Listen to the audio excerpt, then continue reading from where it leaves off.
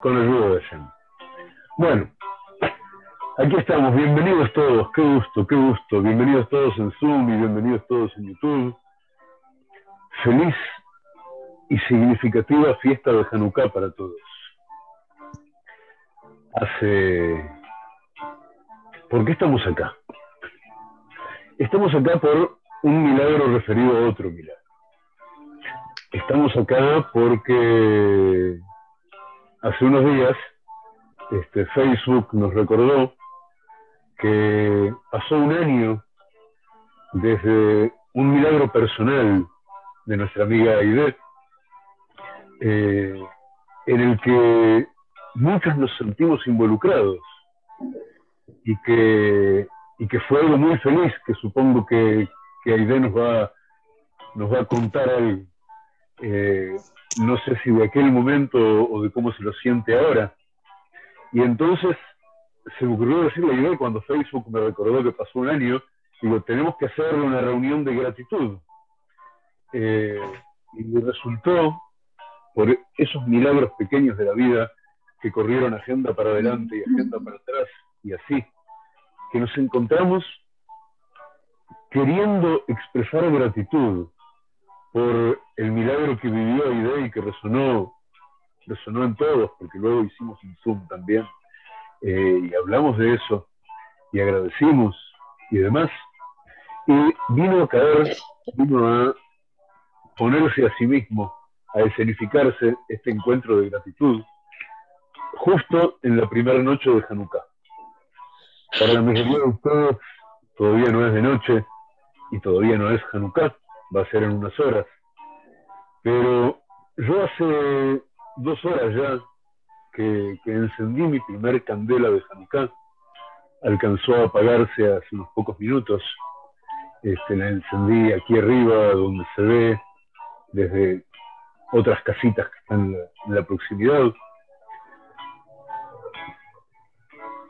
Y entonces, y esta va a ser la introducción con ayuda de Hashem para nuestra reflexión de hoy compartida.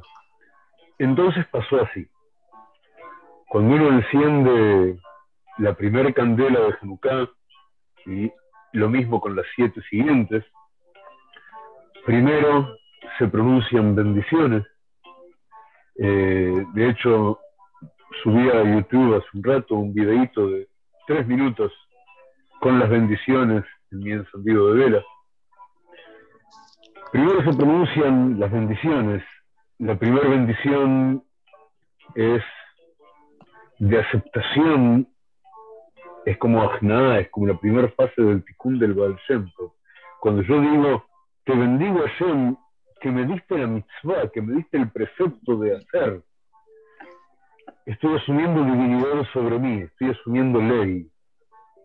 Estoy asumiendo que hay un orden que no lo pongo yo yo me someto a él. Esa es la primera parte. Primera bendición. Segunda bendición, gratitud, que, tiene que ver con la abdalá, la discriminación en el Tikkun del Baal Porque en esa bendición yo agradezco así. Bendito tú Hashem, nuestro Elohim, Rey del mundo, que hizo milagros a nuestros ancestros en aquellos días, en el tiempo este. Y así es como bendigo. Y de esa manera yo estoy haciendo varias distinciones, porque en una confrontación le hizo milagros a mis ancestros, no a los del otro lado. Los milagros fueron solo para uno de los lados y yo agradezco por ello porque yo vengo de ahí. Eh, Silvia, si puedes cierra tu micrófono cuando, no hablas porque te estoy escuchando aquí. Eh, gracias. Eh, yo estoy agradeciendo que se hicieron milagros en aquel tiempo, en este tiempo. En aquellos días, en este tiempo. Yo tengo la sensación que cuando yo digo esas frases, esas dos expresiones juntas, que parecen ser contradictorias, son paradójicas, los milagros fueron allá o acá. Cuando yo las pronuncio juntas, yo estoy estableciendo un principio de resonancia que es maravilloso. En el momento en que yo expreso mi gratitud por allá, en ese momento yo me conecto con ese allá y recibo acá. Y, y vibro, vibro con esa vibración de allá, de entonces, que es lo mismo si la distancia es del espacio, del tiempo, de ambos. Eso está en, otro presente, en otro esquema de circunstancias, y yo puedo vibrar con ello hoy y agradecer esos milagros. Vamos a abundar acerca de eso, vamos a profundizar un poco más, un poco más tarde, con la ayuda de Hashem. Después de estas dos bendiciones, solo la primera noche, agregamos una tercera bendición. Que creo que es la amtacá de todo, el endulzamiento de todo, la tercera fase del tikkun del Baal Shem Es esa bendición que pronunciamos siempre que inauguramos algo. Siempre que estamos ante algo que nos es completamente nuevo, hoy. Y decimos, bendito todo Hashem, nuestro Elohim, rey del mundo, que nos has hecho vivir, que nos has vivificado. De Kiemanu, que nos has dado existencia, que, que seguramente como esto está planteado aparte de la vida, tiene que ver con identidad, tiene que ver con sentido. Nos has dado significado en nuestras vidas. Y entonces, Veligianu las manos de y nos has hecho llegar hasta el tiempo este.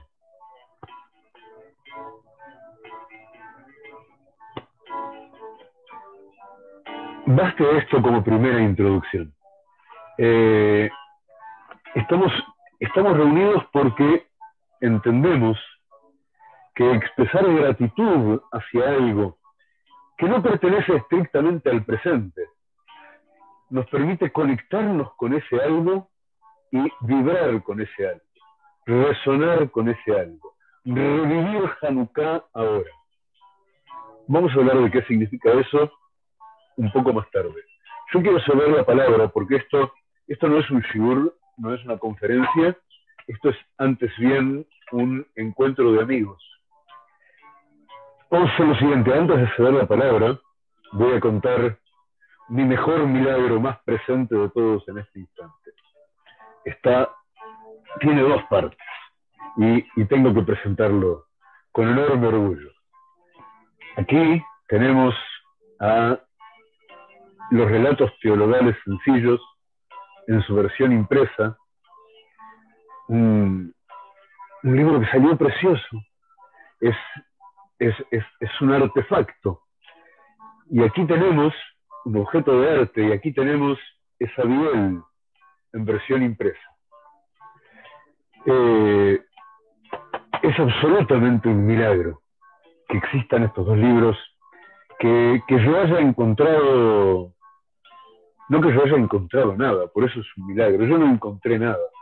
A mí me encontraron. A mí me encontró aparentemente la voluntad de Hashem de que yo de verdad pudiera sentarme a escribir libros. Me encontraron dos hadas madrinas aquí presentes eh, que se empeñaron en que este sueño se convierta en realidad y que encima sea viable, que se, sustente. Eh, y me encontraron todos los que están respondiendo y protegen a nuestros libros y adquieren nuestros libros y compran nuestros libros y se juntan por acá con nosotros a hablar de nuestros libros. Tenemos, tenemos Baruch Hashem aquí en Israel ya de ejemplares impresos de ambos y perdón, la última fase de este milagro es mi papá aquí presente, Julio Wienerman, que sin, sin su espíritu práctico y su capacidad eh, de armar la logística de, de algo así, y de administrarla hasta el último detalle, esto tampoco habría ocurrido. Así que gracias a todos y cada uno de los mencionados. Y ahora un detalle entre paréntesis. Estos libros pesan, pesan 400 y pico de gramos cada uno, algo así.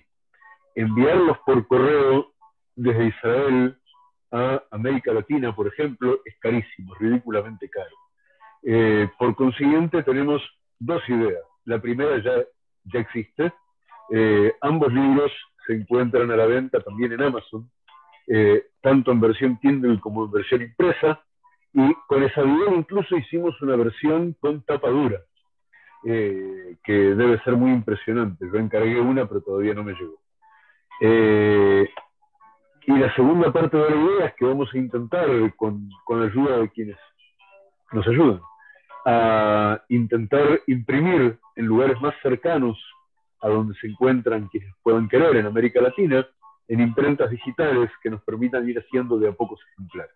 Ahora sí, este es, este es el milagro que me emociona cada mañana cuando, cuando bajo a mi, a mi salón oficina o lo que sea y me encuentro con los dos ejemplares que me dejé a un costado y digo gracias, gracias a John, qué belleza haber podido llegar a esto. Ahora tiendo a querer callarme la boca un rato y a ceder palabra. Eh, sugiero, estás aquí, Aide, ¿verdad? Sugiero que, que, arranques tú, porque a la postre eh, tú, eres, tú eres la bisagra de este milagro de estar todos reunidos hoy acá, eh, celebrando gratitud, celebrando milagros, diciendo gracias por lo que ha sido, por lo que es y por lo que con ayuda de será. De modo que me gustaría primero que te escucháramos a ti en tu reflexión acerca de hace un año y acerca de hoy, y luego sería maravilloso que os animéis todos los demás a contarnos los milagros más cercanos por, los que ya hay que decir gracias y aquellos milagros que, que quieren que pasen y que es buena idea empezar por agradecerlos antemano. Adelante. La palabra es tuya, Aide, querido. Gracias, Baruch Hashem. Pues miren que súper feliz este año. Hace un año, justamente dimos una, hicimos una plegaria de gratitud hace un año para, justo también, no recuerdo en cuál vela de Hanukkah, pero por dar gracias por haber salido de, del hospital, ¿no? Resulta que para los que no saben la historia, en resumen, es que el año pasado según los médicos, tendría que morirme por una situación en el hígado que, que me puso muy mal, pero ya saben que contar con amigos que, que tienen poderes mágicos con las plegarias son, es genial. Entonces, pues gracias al rap Daniel Kinderman, gracias a todas las chicas de, de los chats de TAP y de mi amiga querida Silvia Pisa, y de mi familia y todo, realmente el amor te sana, ¿no? Y pues ya estamos acá, pues a pesar de lo que los médicos decían, y me quedó muy claro una palabra que el rap Daniel decía, dijo, los médicos tienen derecho de curar, pero no tienen derecho ni de matar ni de enfermar, ¿no? Entonces, creo que lo más grave de todo mi proceso era el diagnóstico de los médicos, pero no contaban con la astucia de todos los chicos y del rap y sobre todo de la oportunidad que Hashem me dio para ver desde otro punto. Una de las palabras que el rap también dijo en un video fue que tenía que ver la oportunidad en el asunto, ¿no? A veces nos quedamos atorados en el problema sin ver que los problemas, las situaciones o lo que nos está pasando nos está informando. Siempre digo que la realidad nos informa en pantalla gigante, es como que te hace pixeles, ¿no? En la Matrix, y te informa para que te forme, te informa para que te forme desde adentro algo que seguro no estás viendo. Entonces, seguro no estaba viendo algo y tuve que entrar en este proceso de casi morir gracias a Shem salimos de eso, motó el alma y la verdad que este año ha sido buenísimo. Si acaso fue para hacer los libros del rap Daniel, que el Eterno me dijo acá, porque justo después de eso empezamos a hacer cosas de los libros y eso, ¿no? Entonces, hacer cosas sagradas es maravilloso y es un, es un super gusto estar colaborando con el rap y con mi amiga Silvia en este proyecto y obviamente todas las chicas y los chicos que lo hacen posible, ¿no? Con, la, con los aportes, con la CEDACA, con los protectores, etc.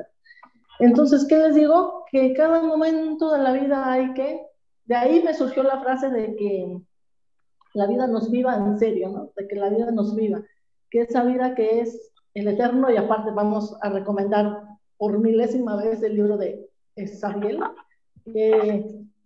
para mí es el mejor libro que ha escrito el rap. Ese es el volumen. Eh, ¿Qué volumen es? ¿Cuatro o cinco? Cinco, cinco. Cinco, el volumen cinco. Es que ya me estaba pensando en el seis. el volumen cinco es Samuel y para mí es el mejor que ha escrito. Justo le decía ayer a las chicas, pero no se crean, no me crean tanto eso porque el rap es capaz de sorprendernos, ¿no? Yo les decía, es que es el mejor libro que ha escrito el rap, pero espérense, puede que salgan con otra cosa maravillosa. Entonces, este libro, como dice, este libro es este tema de estar en la divinidad, ¿no? Y creo que revisando los videos en YouTube, todo lo que ha escrito, etcétera, este, este libro es como como un concentrado de todo esto, porque me di cuenta que el video del grifo también habla de Sabiel, pero no lo menciona. O sea, el tema en sí es de Sabiel, pero no lo dijo, qué barbaridad. El caso está en que eh, una, una frase que anoté ayer que decía, este, ¿cómo se llamaba? ¿El Mosque se llamaba el que estaba del, del grifo? No recuerdo el nombre, pero...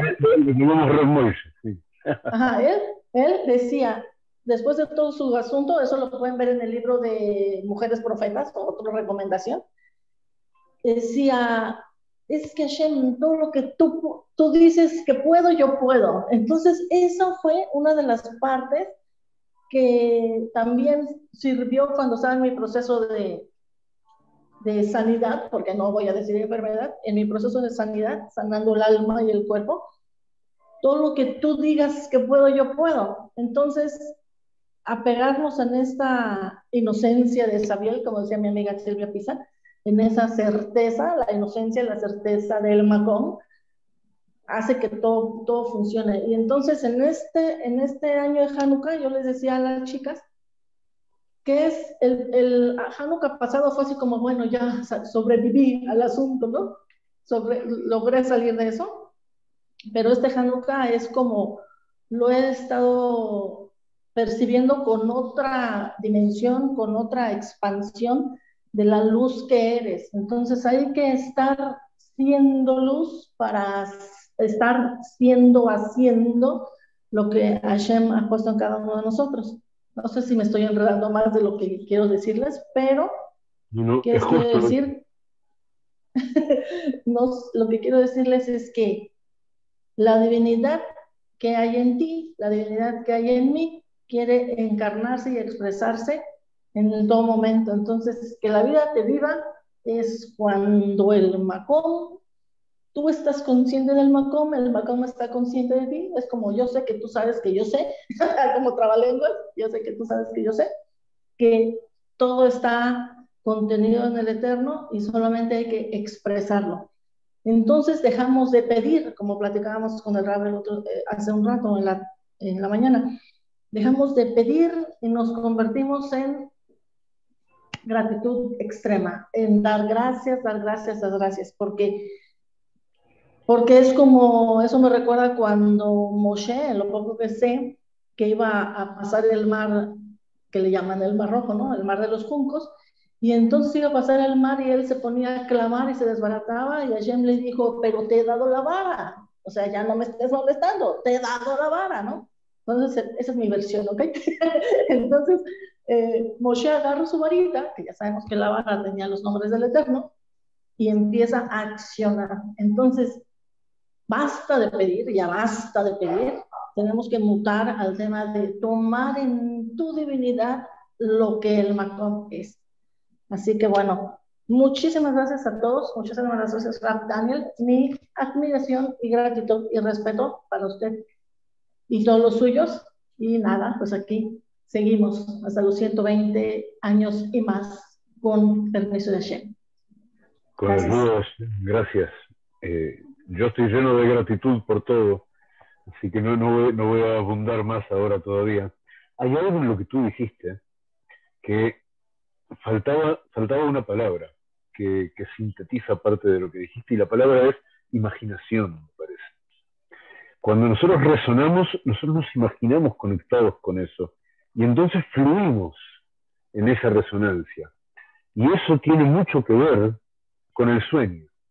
El sueño eh, en un extremo y la sugestión lúcida en el otro son, son estados en los que nos es más fácil fluir hacia esa identidad que, que produce resonancia. Por eso en realidad el prólogo de hoy es más bien el segundo volumen cuadernos de la comunidad de Torah. El arte de soñar el mundo, que, trata de siete sueños. Los últimos dos de ellos ocurren en la parashá de esta semana, Miket. Y en la parashá de la semana pasada, Vayeshev, ocurren los dos sueños críticos de Yosef. Y ahí es donde vemos qué, qué difuso que es el límite entre el sueño y la imaginación, y entre la imaginación y la resonancia, y la resonancia y la realización de aquello que empezamos por soñar o imaginar. Porque así fluye en la vida de Yosef. Yosef a los 17 años sueña, pero luego se apega a esos sueños y esos sueños cambian la realidad. Eh, a, eso se parece mucho lo que, lo que intentamos hacer en, los momentos en que logramos ser, detallados. Por favor.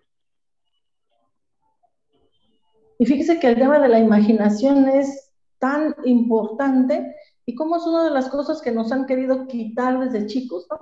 Tú le dices a un niñito, un niñito te quiere contar sus historias, sus sueños, sus, lo que se imagina, ¿no? A los de sus amigos imaginarios, y tú le dices, ya cállate, chamaco. Entonces te han quitado, querido quitar eso, desconectarte de tu capacidad de imaginar, porque si eres capaz de imaginar, eres capaz de manifestar. Hay una diferencia entre la imaginación sagrada que te lleva algo para bien y la fantasía. Una cosa es la fantasía, decimos en México los sueños guajeros, y otra es la imaginación. Entonces, si nos abren ese punto rap, desde la Torah, la Cábala y todo lo demás, sería genial. Con ayuda de Hashem. Eh, en Hasidut se le llama, en realidad a ambas cosas, pero depende de dónde, a qué te apegas. En el libro de Tania, Rabbi Dalman de Liadi, el autor de, de la música que estamos escuchando, dice en el Tania, habla del Koach Medame, de la fuerza capaz de imaginar, como algo que de verdad puede tanto hacerte perder el camino por completo, cómo de verdad alcanzar y hacer todo este proceso del que estábamos haciendo. Imaginar hasta realizar aquello que imaginaste. Eh, seguramente la, la diferencia está en el pasaje de Jofesh a Jerut, en el modo en que nosotros lo hablamos. Cuando tú no sabes para dónde vas, ni sabes qué está bien ni qué está mal, no has tomado decisiones, no has elegido un camino, no, no lo estás forjando el camino. Entonces, da lo mismo más o menos para dónde vas. Y entonces la imaginación te puede llevar a cualquier cosa. Y a la postre ese cualquier cosa va a terminar de un modo u otro en el terreno del susto. Eh, yo, yo, eso lo veo mucho hoy día entre, entre la gente que perdió la fe primero y después le perdió el respeto, sobre todo en el último par de años, al consenso social, eh, en general, por, por, todo, por todo lo de crítico que tuvieron el último par de años, y, y la gente entonces eh, imagina cosas que, que, le cambian la cabeza, imaginan cosas que les hacen mucho daño. Digo, no, sin entrar a hablar de conspiraciones o no conspiraciones o todo eso, no importa, dentro de ese canal que existe de alguna manera, la gente como le perdió el respeto al consenso social, y ya le había perdido el respeto a la fe, a lo divino antes, muchísima gente. De repente están entregados al poder que su imaginación produzca. Eh, yo, yo conozco, digo, dentro de lo que hago para tratar de entender qué es lo que pasa y, y, dar respuesta cabal desde lo que uno hace a, las circunstancias de verdad, a lo que ocurre en el mundo, a lo que piensa la gente.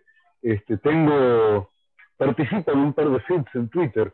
Y, en, uno de los feeds que participa en Twitter de, gente de acá, de gente de, de 40, 50 años, mayormente eh, gente, gente urbana y exitosa, eh, es, épico el, nivel de disparates que circulan, eh, porque uno queda entregado a las manos de su fantasía. Y, más que nunca es el momento de hacer el, hacer paso ese de Jofe Shaherut, dejar de buscar haber hallado y hacer con lo hallado. Este, me, me, parece fundamental. Sí. Gracias. Así crecemos, seguimos aprendiendo todo el tiempo. Por favor, ¿quién quiere contarnos de los milagros que tiene para agradecer? Eh, porque ya han ocurrido, porque ocurren cada día, o de los milagros que quisiera que haya y que vamos a darlos por ciertos diciendo gracias. ¿Quién sigue, amigos, amigas? Por favor. por favor. Hola, ¿se escucha? Claro. Buenos días. ¿Cómo está, Daniel? Querida Ide, y a todos, a todas mis queridas compañeras de este hermoso grupo. Bueno, yo quiero eh, contar mi testimonio. Estoy realmente muy emocionada porque, eh, pues bueno, he estado participando activamente en todas estas ceremonias de, eh, pues, realmente sagradas y bonitas y de conexión con, con Dios, con el Eterno desde Elul, Rosh Hashanah, eh, Yom Kippur y demás.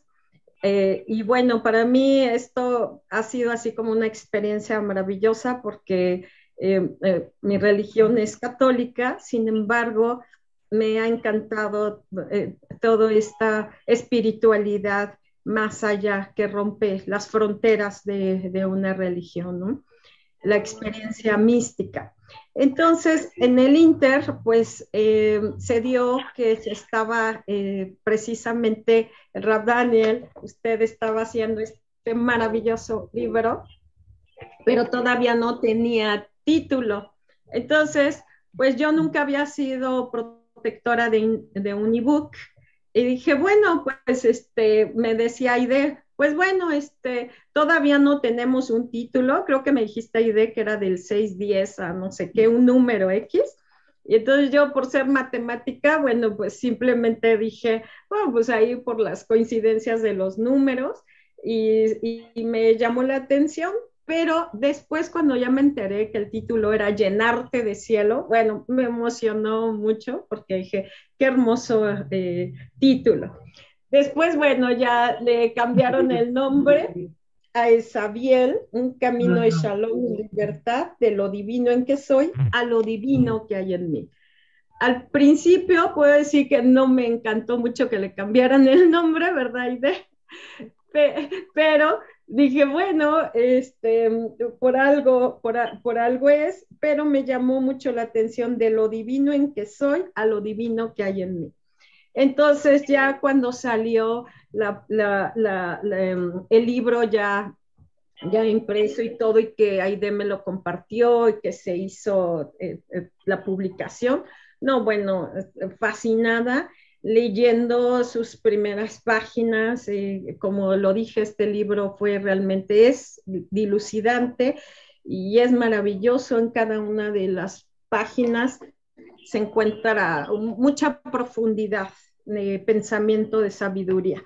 Bueno, mi milagro es que justo participé recientemente en un ritual que, que organizó Aide de El Macom, Hamacom. Yo no tenía ni la menor idea de qué, era, de qué se trataba, pero estaba tan conectado con el libro de Sabiel.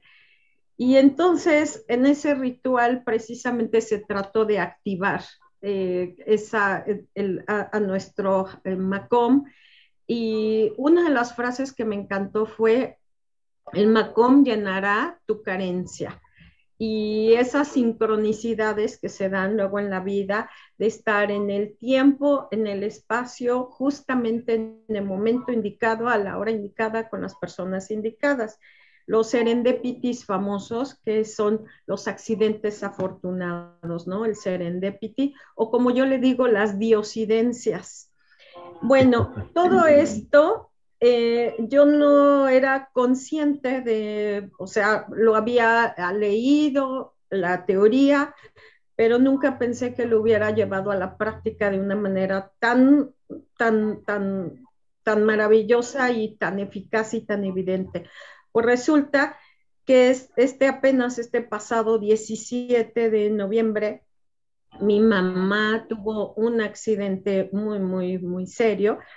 Eh, se cayó aquí en la casa, en las escaleras de la casa, y eh, rodó y tuvo una fractura de cadera. Mi mamá ya es adulto mayor y eh, tiene diabetes, tiene ciertos padecimientos, y ese día coincidió en que yo afortunadamente estaba en la casa de casualidad porque por lo general estoy fuera trabajando y ese día tenía que trabajar aquí en home office.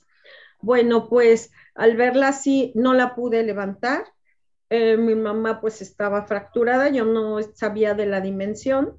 Le hablé a, a uno de mis hermanos, dos de mis hermanos, para que me vinieran a ayudar. Y bueno, prácticamente en la familia nadie sabía qué hacer. Tengo cuatro hermanos mayores, somos tres mujeres, pero prácticamente yo soy la menor de, todos mis hermanos. Y tuve eh, un momento como que al ver a mi mamá ahí tirada, mi mamá es derecho aliste, que es servicio médico, pero de gobierno. Pero, sin embargo, yo no tenía en ese momento un solo peso, no tenía el dinero ni los recursos en ese momento para ingresarla a un hospital privado.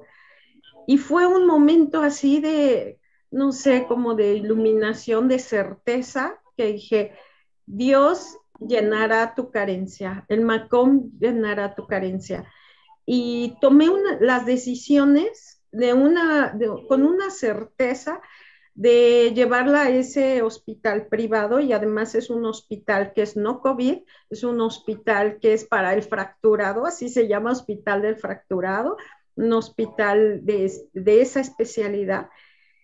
Y llegué con tal certeza, tuve, no sé, una, una claridad mental para eh, hablar con los médicos para tomar la decisión de que se operara.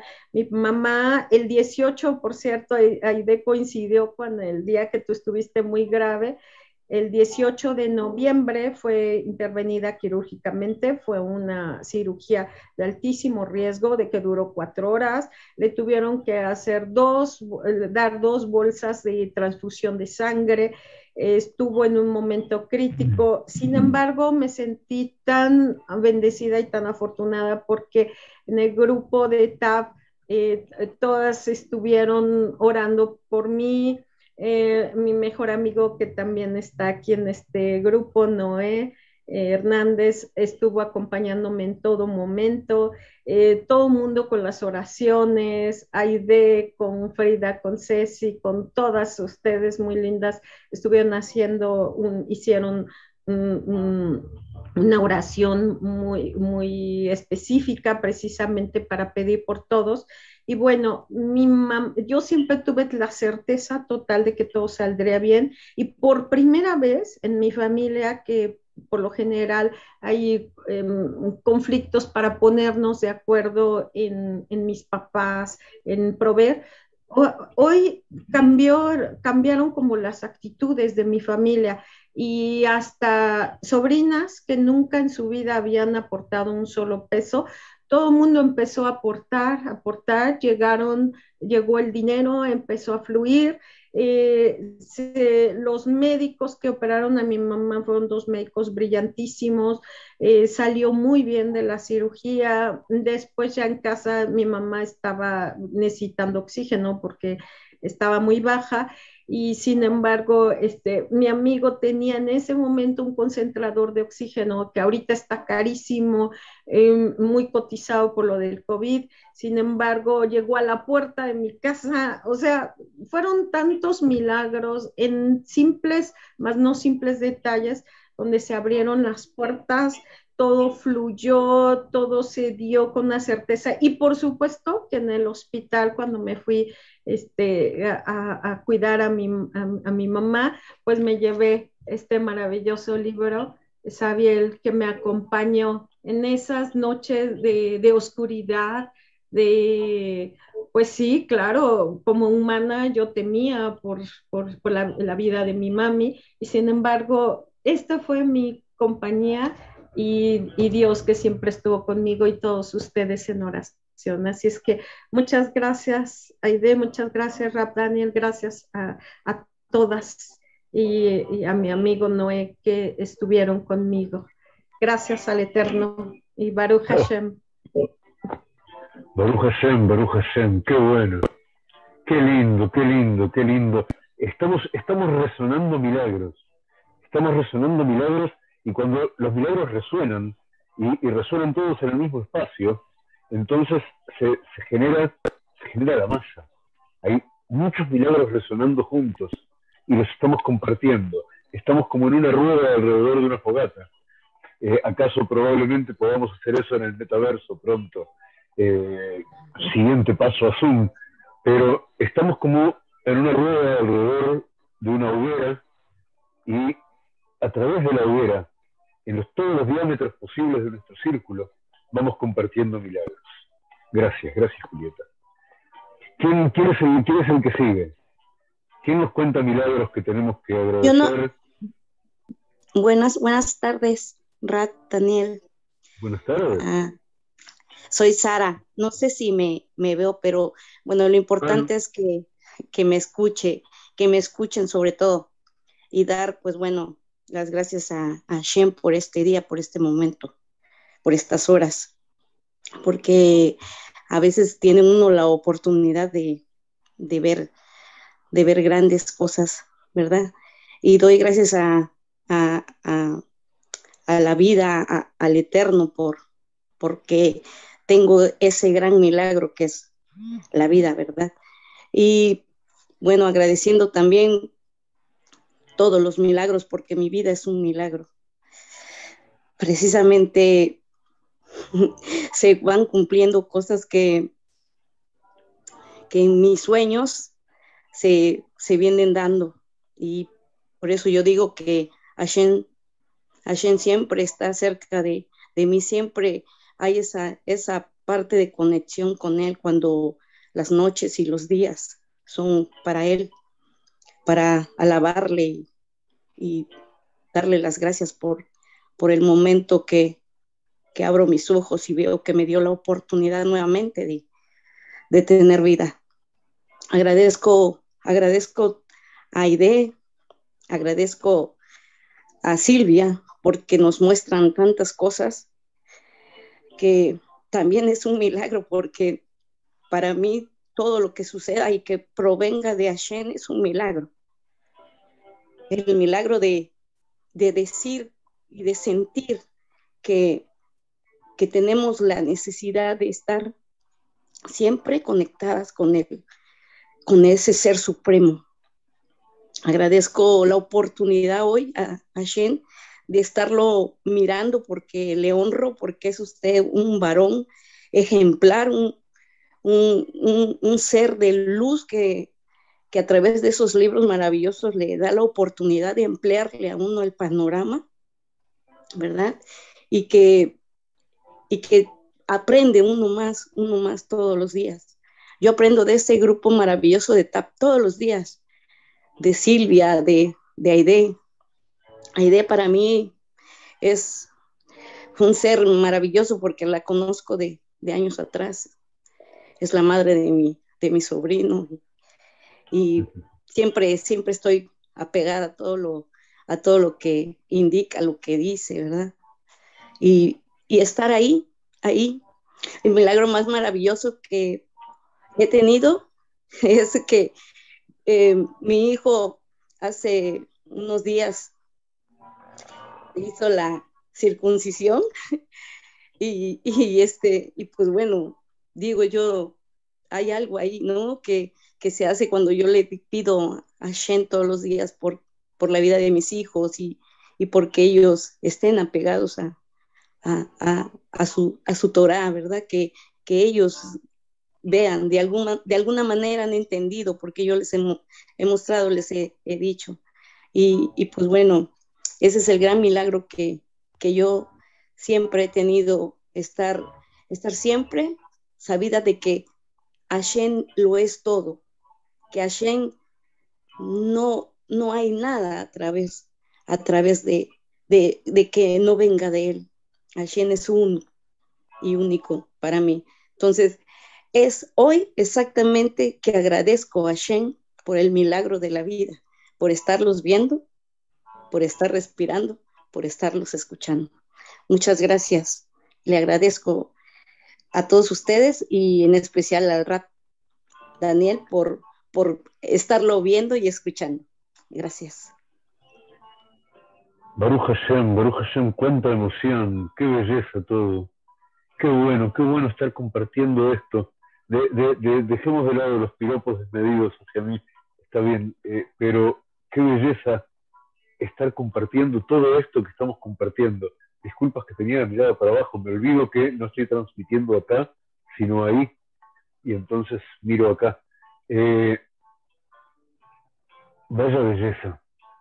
Yo estaba pensando, ahora cuando te escuchaba a ti y antes a Julieta y a Aide, eh, hay varios temas fundamentales, centrales, en, en, lo que hace conceptualmente a Hanukkah, a la festividad en la que estamos entrando en este instante. Uno de ellos, uno de ellos tiene que ver con lo que tú decías recién de modo completamente desgarrador. Mira tú, imaginemos, imaginemos esta escena. Tú tienes, tú tienes aceite que alcanza para encender el candelabro completo en todo su esplendor durante 24 horas. Y el candelabro tiene que estar encendido siempre. Y va a tomar ocho días que venga el nuevo aceite para seguir surtiendo al candelabro. Yo estoy sentado ahí y hay, y claro, uno tiene que tomar una decisión. ¿Y qué tipo de decisión tendríamos a tomar? Eh, el tipo que está sentado ahí, entre otras cosas, de alguna manera, es, es un gerente. Él, él es el sacerdote, pero en su función de sacerdote está incluido que él administra esos supplies, esas cosas que se consumen en el oficio del templo. Y ahora el sacerdote que también es el gerente, y el administrador, tiene que tomar una decisión. En este instante, el candelabro debiera estar encendido de modo completo y perfecto.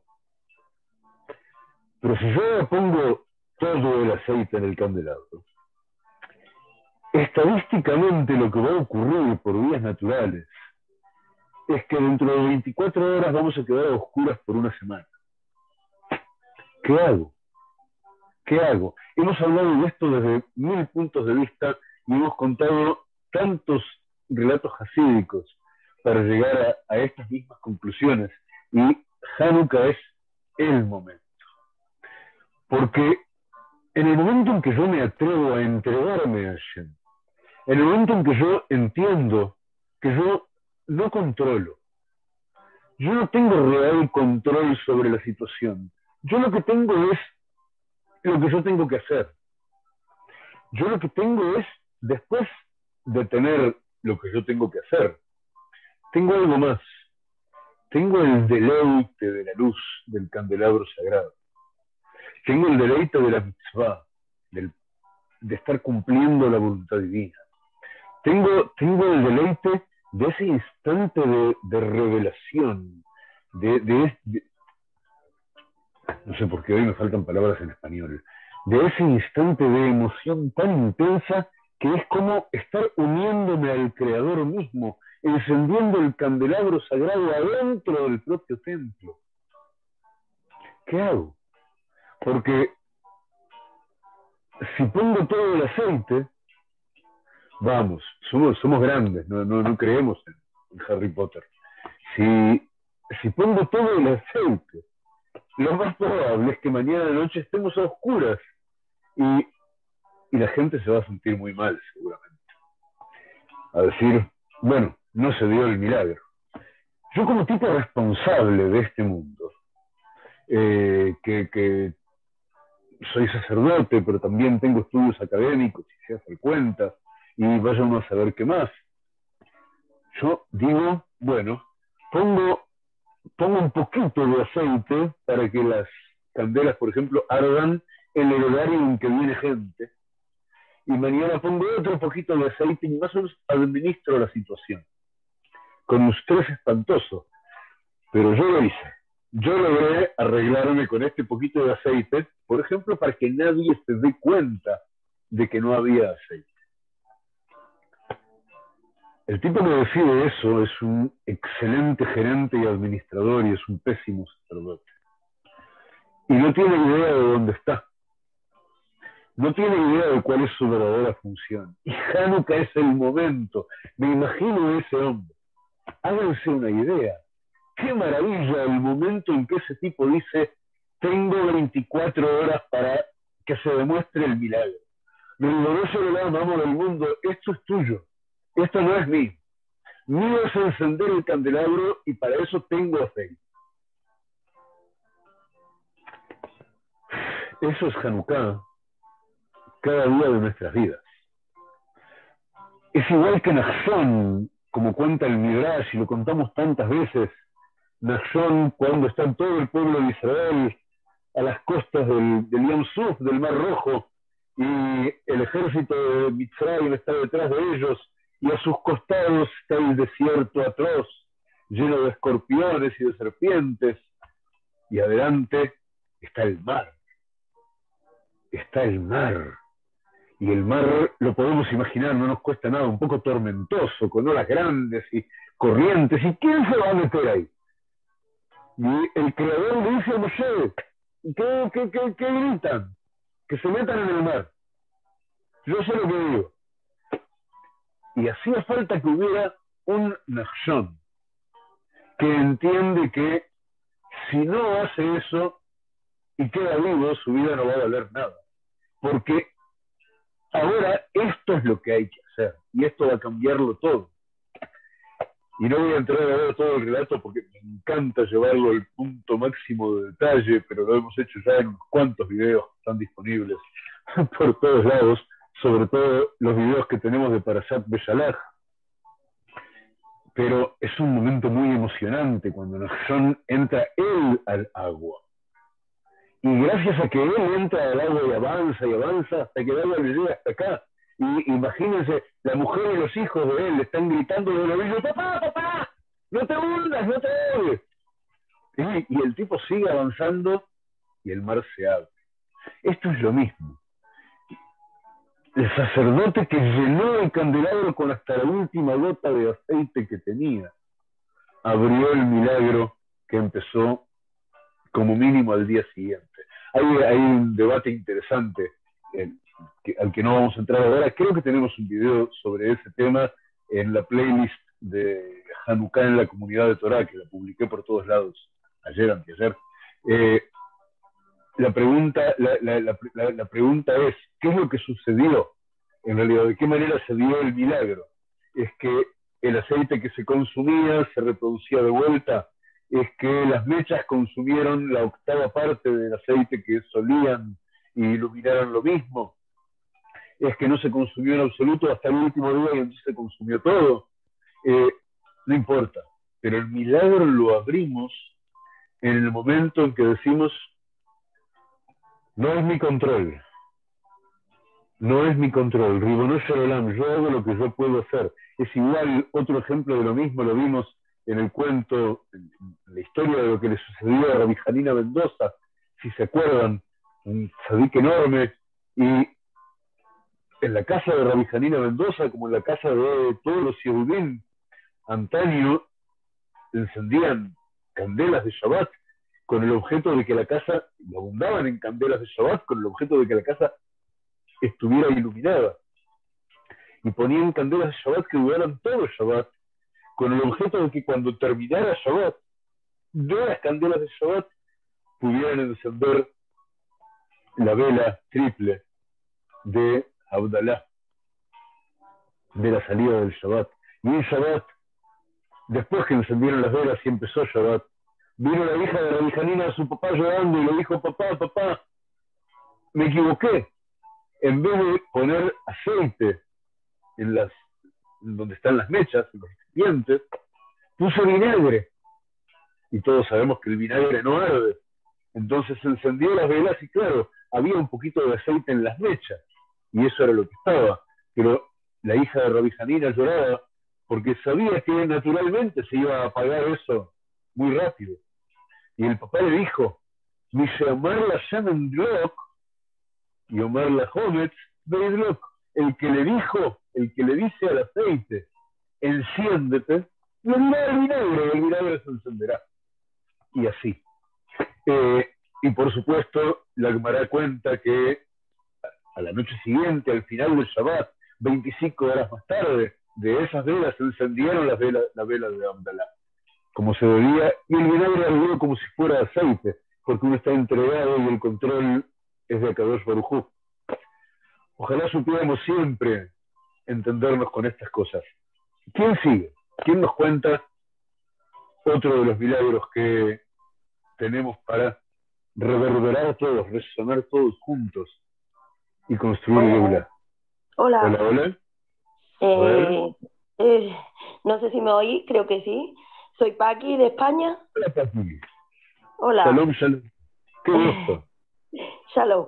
Eh, bueno, yo, como dice Sarita, mm, creo que la vida en sí ya es un milagro.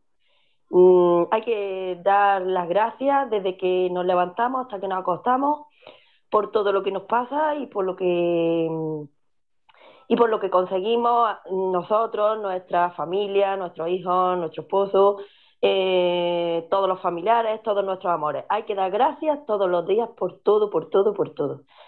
Y yo especialmente eh, el milagro que, que desde el año pasado hacia acá ha habido mucho, ¿no? Para mí mucho, pero en especial, pues, mm, tres muy importantes. Uno es mi casa, mi unidad familiar. La segunda ha sido la sanidad de una tía mía que prácticamente con el COVID se nos iba y, la tenemos entre nosotros. Y la tercera, eh, que nos salpica a todos los miembros de mi casa, que sería el tener trabajo, sobre todo mm, mi hijo, mi marido y yo. Mm, en especialmente eh, el milagro más patente ha sido en cuanto al trabajo conmigo, porque antes de la pandemia, pues yo tenía trabajo, bueno, se puede decir un poquito de trabajo, pero desde el verano hacia acá tengo mucho trabajo y tengo que dar muchas gracias a Baruch por, por ese gran milagro de, tener mucha labor mm, por la que hacer y, ser generadora de, dinero. Eso me hace mucho bien y estoy muy, muy agradecida. Y nada, eh, me callo ya para que otros puedan contar también su testimonio y sobre todo... Estamos agradecidos todos juntos contigo. Perdón. Gracias. Baruch Qué bueno, qué belleza. Qué belleza. ¿Quién, quién, quién, quién, sigue y nos cuenta? Por favor, Noemí. Hola, buen día desde México, Baruch Hashem. qué pues yo estoy viviendo mi milagro porque en el 2019 eh, renuncié a, digamos, un buen trabajo para eh, montar mi propio negocio. Sin embargo, bueno, pues se vino la pandemia y me quedé en una bancarrota total en ese periodo, eh, mi hijo menor también sufrió un accidente y bueno, con todo el tema del COVID fue un verdadero milagro el poder atenderlo. Y después mi hijo mayor, eh, pues también se complicaron las cosas con su, con su titulación, etcétera. Entonces, yo siempre he estado pues eh, buscando la luz de, de, Hashem y hubo un momento de quiebra en mi vida donde me quedé totalmente sola, ¿no? Sin dinero, sola, sin familia, sin amigos y no encontraba mi sitio. Y un día, em, estudiando, eh, dije, bueno, ¿qué es lo que sigue? No? ¿Dónde, es, ¿Dónde es mi lugar? ¿Dónde está? Eh, ¿dónde está mi continuidad aquí? Y me dijeron, bueno, para estudiar Cábala necesitas Torah, necesitas saber hebreo y necesitas un rabino que te guíe. Y yo dije, no tengo acceso al rabino. Y hoy, milagrosamente, está usted aquí, Rab, y ese es mi milagro, haber encontrado este sitio, este grupo, esta comunidad, donde siento que pertenezco. O sea, tiene dos semanas que los encontré y me siento de verdad contenta porque Hashem me escuchó en esa soledad tan fuerte que sentí. Y bueno, pues hoy doy gracias porque estoy aquí entre ustedes y pues muy contenta, muy bendecida. Y eso es todo. Gracias. Qué belleza, gracias, gracias a ti. Gracias por compartir. Estamos agradeciendo juntos cada cosa que cada uno de ustedes comparte, estamos entre todos agradeciendo por ello. Y así estamos engendrando los milagros nuevos con ayuda de Hashem. ¿Quién sigue, Javerín?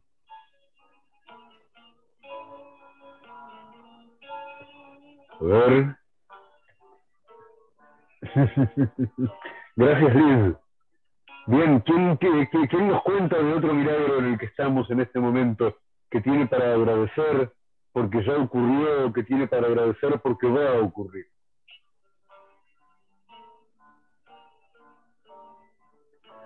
Silvia, ¿tú estás por aquí, por aquí? ¿Que tú eres un, milagro caminando? Se me perdió Silvia. Es que Silvia se le fue la señal porque dijo que hay tormenta en Argentina y no la Entiendo. Bueno, una pena, no, nos perdimos que ella nos cuente de los milagros. Aide, ¿nos quieres contar tú de Hanukkah un año después? Hanukkah un año después. bueno, el primer milagro es que todos los kilos que había perdido durante el proceso ya los recuperé, gracias a Shen, comiendo rico. Y vamos a platicar una cosa de el día uno, las velas, ¿qué le parece, Rap?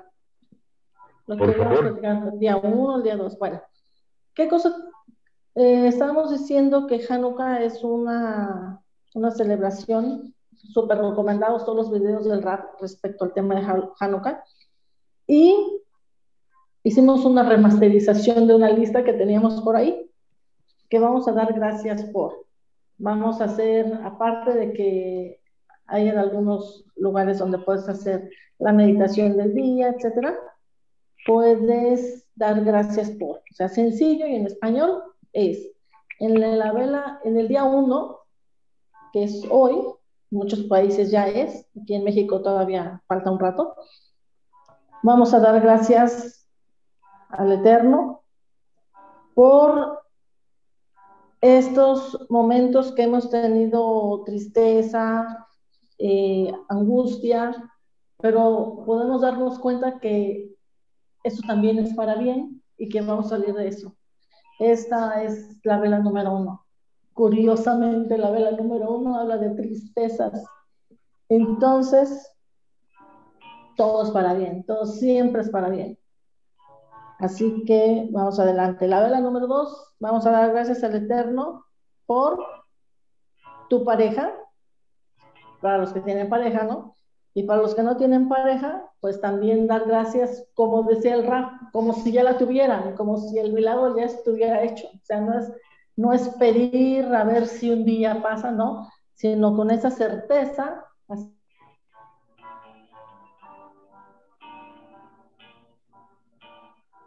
Ahí ve. Ahí ve, te perdí. ¿Te congelaste?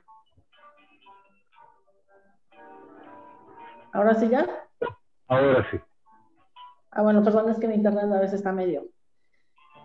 Bueno, quedamos en la vela 2, quedamos en la vela 2, que estábamos hablando de dar gracias al Eterno por tu pareja y dar gracias al Eterno por, si todavía no tienes pareja en el concreto, pero según el abstracto sí, hacer que se manifieste tu, tu alma gemela, tu compañera o tu compañero de, de, este viaje, para lo cual también vamos a recomendar otros videos del rap Daniel General. Hoy es el día de las recomendaciones de los videos, de uno que, se, que habla sobre Eser Kenegdo. Son 13 videos, que veanlos todos, porque es como un manual de por qué si tienes pareja y por qué no tienes pareja. Entonces es súper interesante.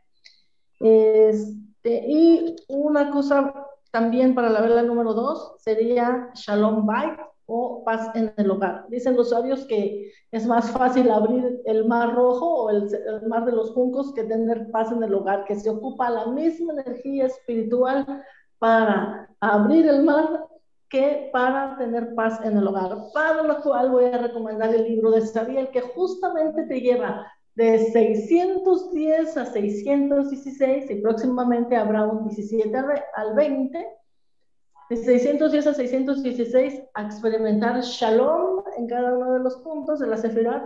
y esto lo practica súper bien el rap. Me encanta cuando estamos en, en, un chat de cocina de lo de, las, de los libros del rap con mi amiga Genia Silvia Pisa, el rap Daniel y yo. Y cuando a veces nos ponemos así en un plan así medio loquito, Silvia y yo, el rap me encanta porque, digo, está practicando alguno de los 600 porque no se mete en líos. O sea, se sale magistralmente del asunto y nos pone algo así, y digo, practicando esa bien, o sea, ya me lo caché, ya me lo cachado en esas cosas, o sea, e, entra en, la, en Shalom, en la situación que nos estemos enredando, ¿sí y yo, ahí, ahí entra. Entonces, el libro de Sabiel es un manual que deben tener en su vida, sí o sí. La vela número tres. Dar gracias por los hijos, nuestros preciosos hijos, que obviamente hay que hacer las bendiciones de los hijos en Shabbat y todo eso, y para tener nuestros hijos sanos del alma y sanos del cuerpo, también bien educados en, en conexión con Hashem. Esa es la vela número tres.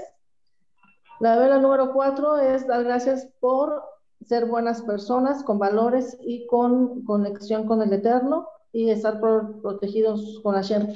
Eso me suena puede parecer o puede sonar un poco egoico decir, ay, soy buena persona, sino de a lo mejor tú sabes los puntos en que hay que hacer rectificación, pero, pero da gracias a Hashem como si ya estuvieras corrigiendo eso.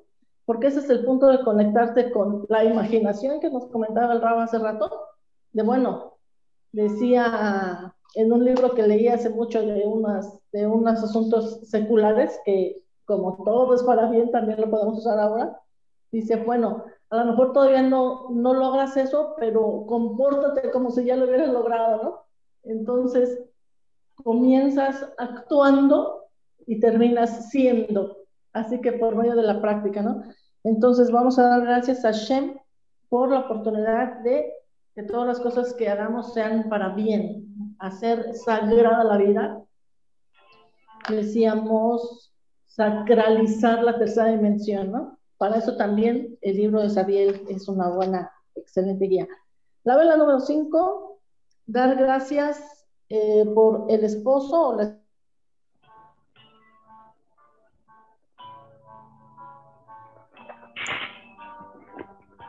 Ahí te congelaste de vuelta.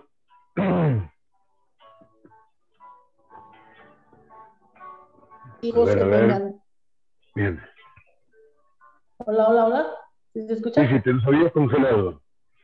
Ay, perdón. La vela, número 5. La vela número 5, dar gracias por el esposo, que el esposo tenga Torah y que los hijos sean apegados a la Torah con luz, una, una buena visión de la vida.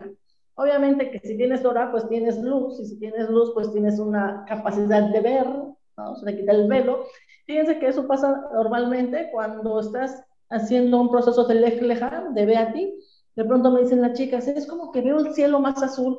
Digo, mira, siempre he estado de ese tono, nada más que no eras capaz de verlo. Y es verdad, sí, de verdad el cielo se ve más azul. O sea, cuando empiezas a tu visión espiritual, empieza a ver, de verdad que las cosas se ven con más claridad, literalmente. Esa es la vela número 5. La vela número 6 es dar gracias por la alegría de disfrutar todo lo que tenemos, o sea, dar gracias al Eterno por todo lo que tenemos, dar gracias por el auto, por la casa, por lo que vamos a tener, la casa que vamos a tener.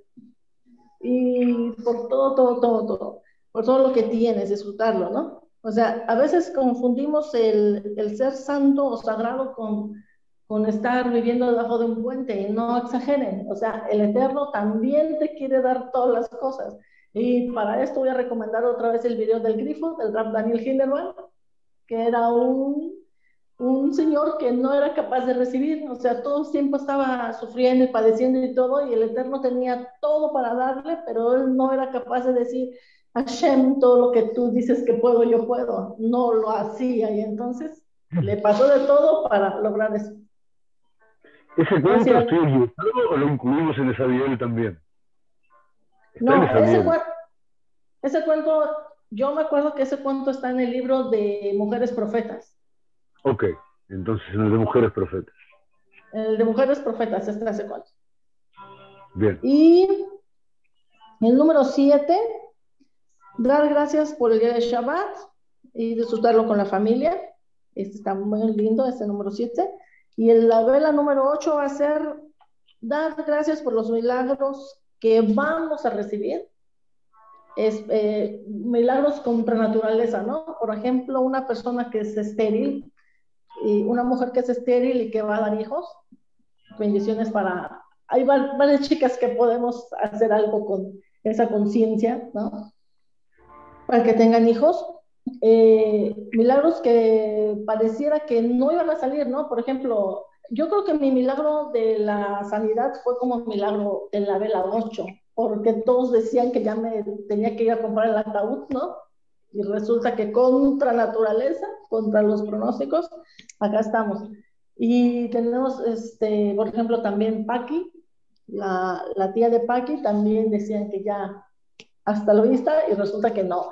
Entonces, todos estos milagros es súper interesante. Ahora, vamos a ir más profundo, que eso ya lo va a explicar el rap.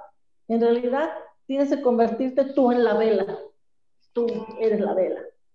Entonces, rap, ya le paso el, el micro a usted para que nos explique cómo vamos a hacer la vela nosotros.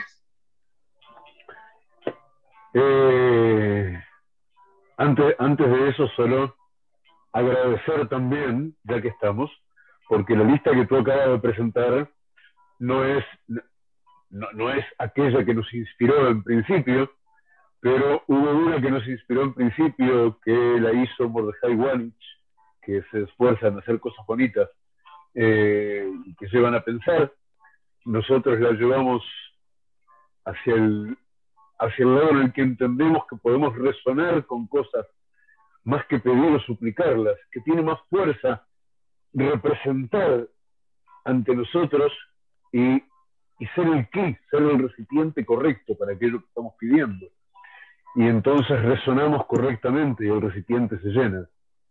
Eh, y si no es que tenemos que seguir enmendando el recipiente o que hay otras cosas en un puzzle mucho más grande que el que conocemos. Eh, ¿Alguien se inspiró que quiera contarnos algo entre tanto? Un milagro por el que decir gracias. Entonces yo voy a, voy, a, tomar el hilo de lo que tú decías. Y tú dijiste, ¿cómo nos convertimos en la candela? Eh, y ahí tenemos... Hola, ¿quién está hablando? Yo, Ram. Yo, mira. Salud, salud. Qué gusto. ¿Cómo estás? ¿Cómo estás, Raz? Baruch Hashem. Contenta de tenerte aquí con nosotros. El primer milagro es eh, que Aide nos convocara. Y eso está muy bonito porque resonamos de inmediato con usted, este Raz.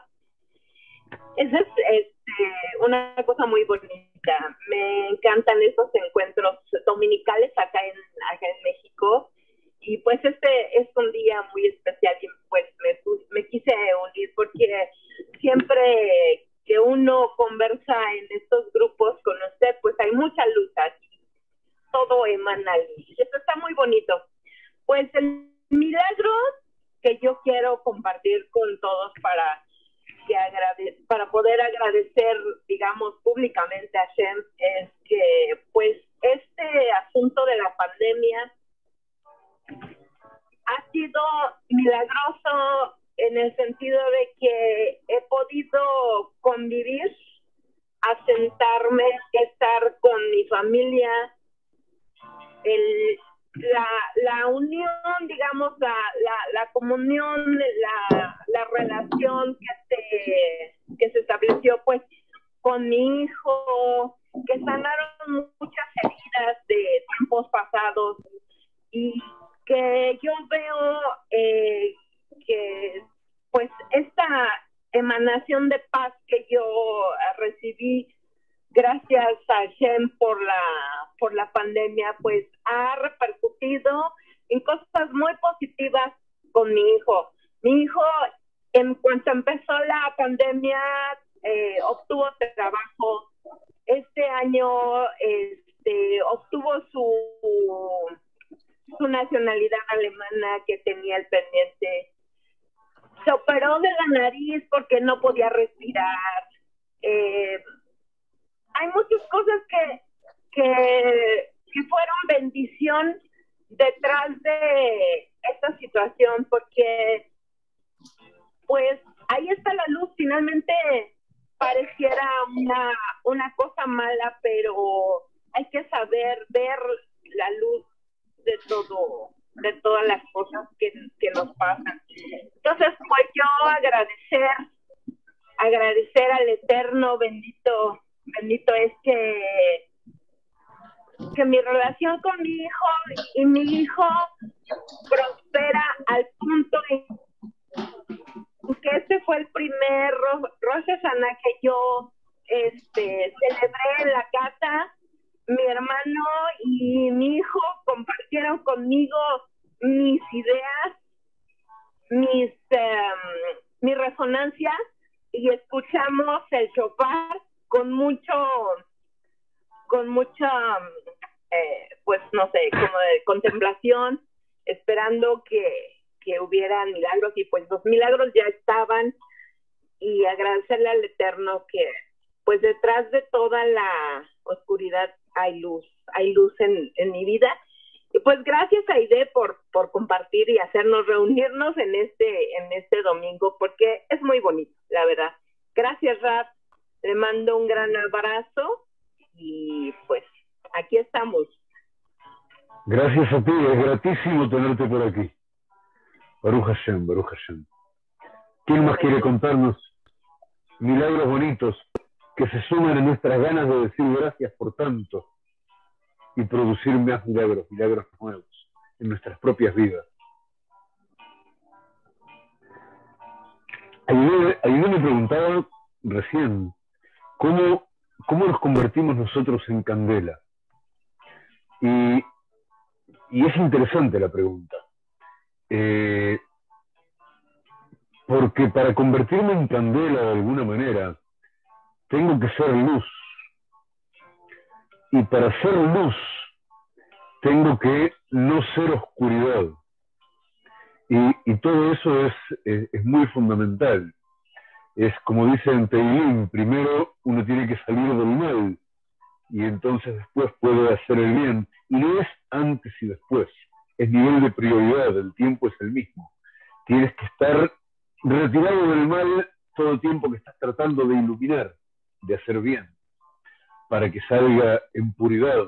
Y eso también nos lleva a entender algo de que viene a enseñarnos la, historia misma de lo que estamos celebrando en Hanukkah, que tiene que ver no solo con el milagro de la luz, sino que tiene que ver en general con la rebelión de la familia de los Hashmonaim, que se convirtieron en los Maccabim, en los Macabeos, para recuperar la sacralidad del templo, para recuperar la sacralidad de Israel.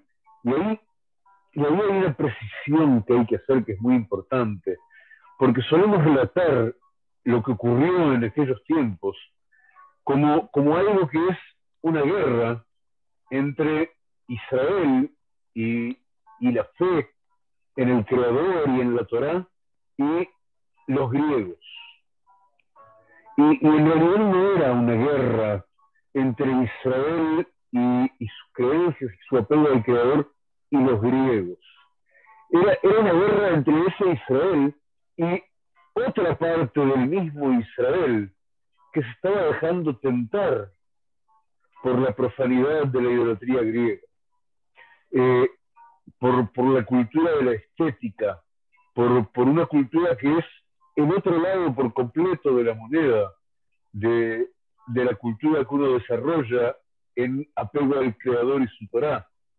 Y, y el problema no estaba afuera, el problema estaba adentro.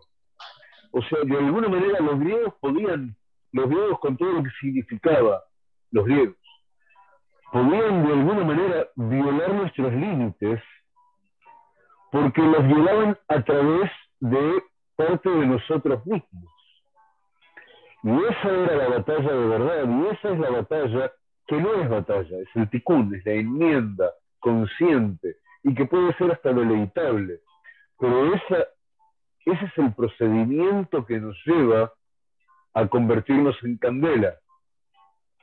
Ese, ese punto en el cual extirpo de mí esa tentación de lo profano que viene a tratar de convencerme, yo que estoy en el Jerut, como, como, como recordaréis de videos o del libro de Sabiel, el nivel máximo de libertad que, que, se funda en el hecho de que tengo conciencia plena y perfecta de la ley, de la ley inviolable, de la ley del Creador, no de la ley de, de, la ley del Creador. Y, y entonces, tener conciencia perfecta de la ley del Creador hace que se pueda moverme con la máxima libertad posible, porque lo único que me limita son las leyes a las que estoy sometido, quiera o no. Y entonces tengo la máxima libertad posible. Cuando viene, cuando viene la profanidad a meterse, a, tratar de introducirse en mi casa por, por el desagüe o por la chimenea, entonces lo que hace es tentarme de bajarme del jerut a la etapa previa que superé hace tiempo. Y de vuelta, no es tiempo, superé en otra instancia lógica del proceso. Quiero que se vuelva al Jofesh, que vuelva a la búsqueda, que me olvide que ya encontré, que me olvide que entendí que solo habiendo encontrado puedo seguir adelante en el desarrollo de lo que vine a hacer a este mundo.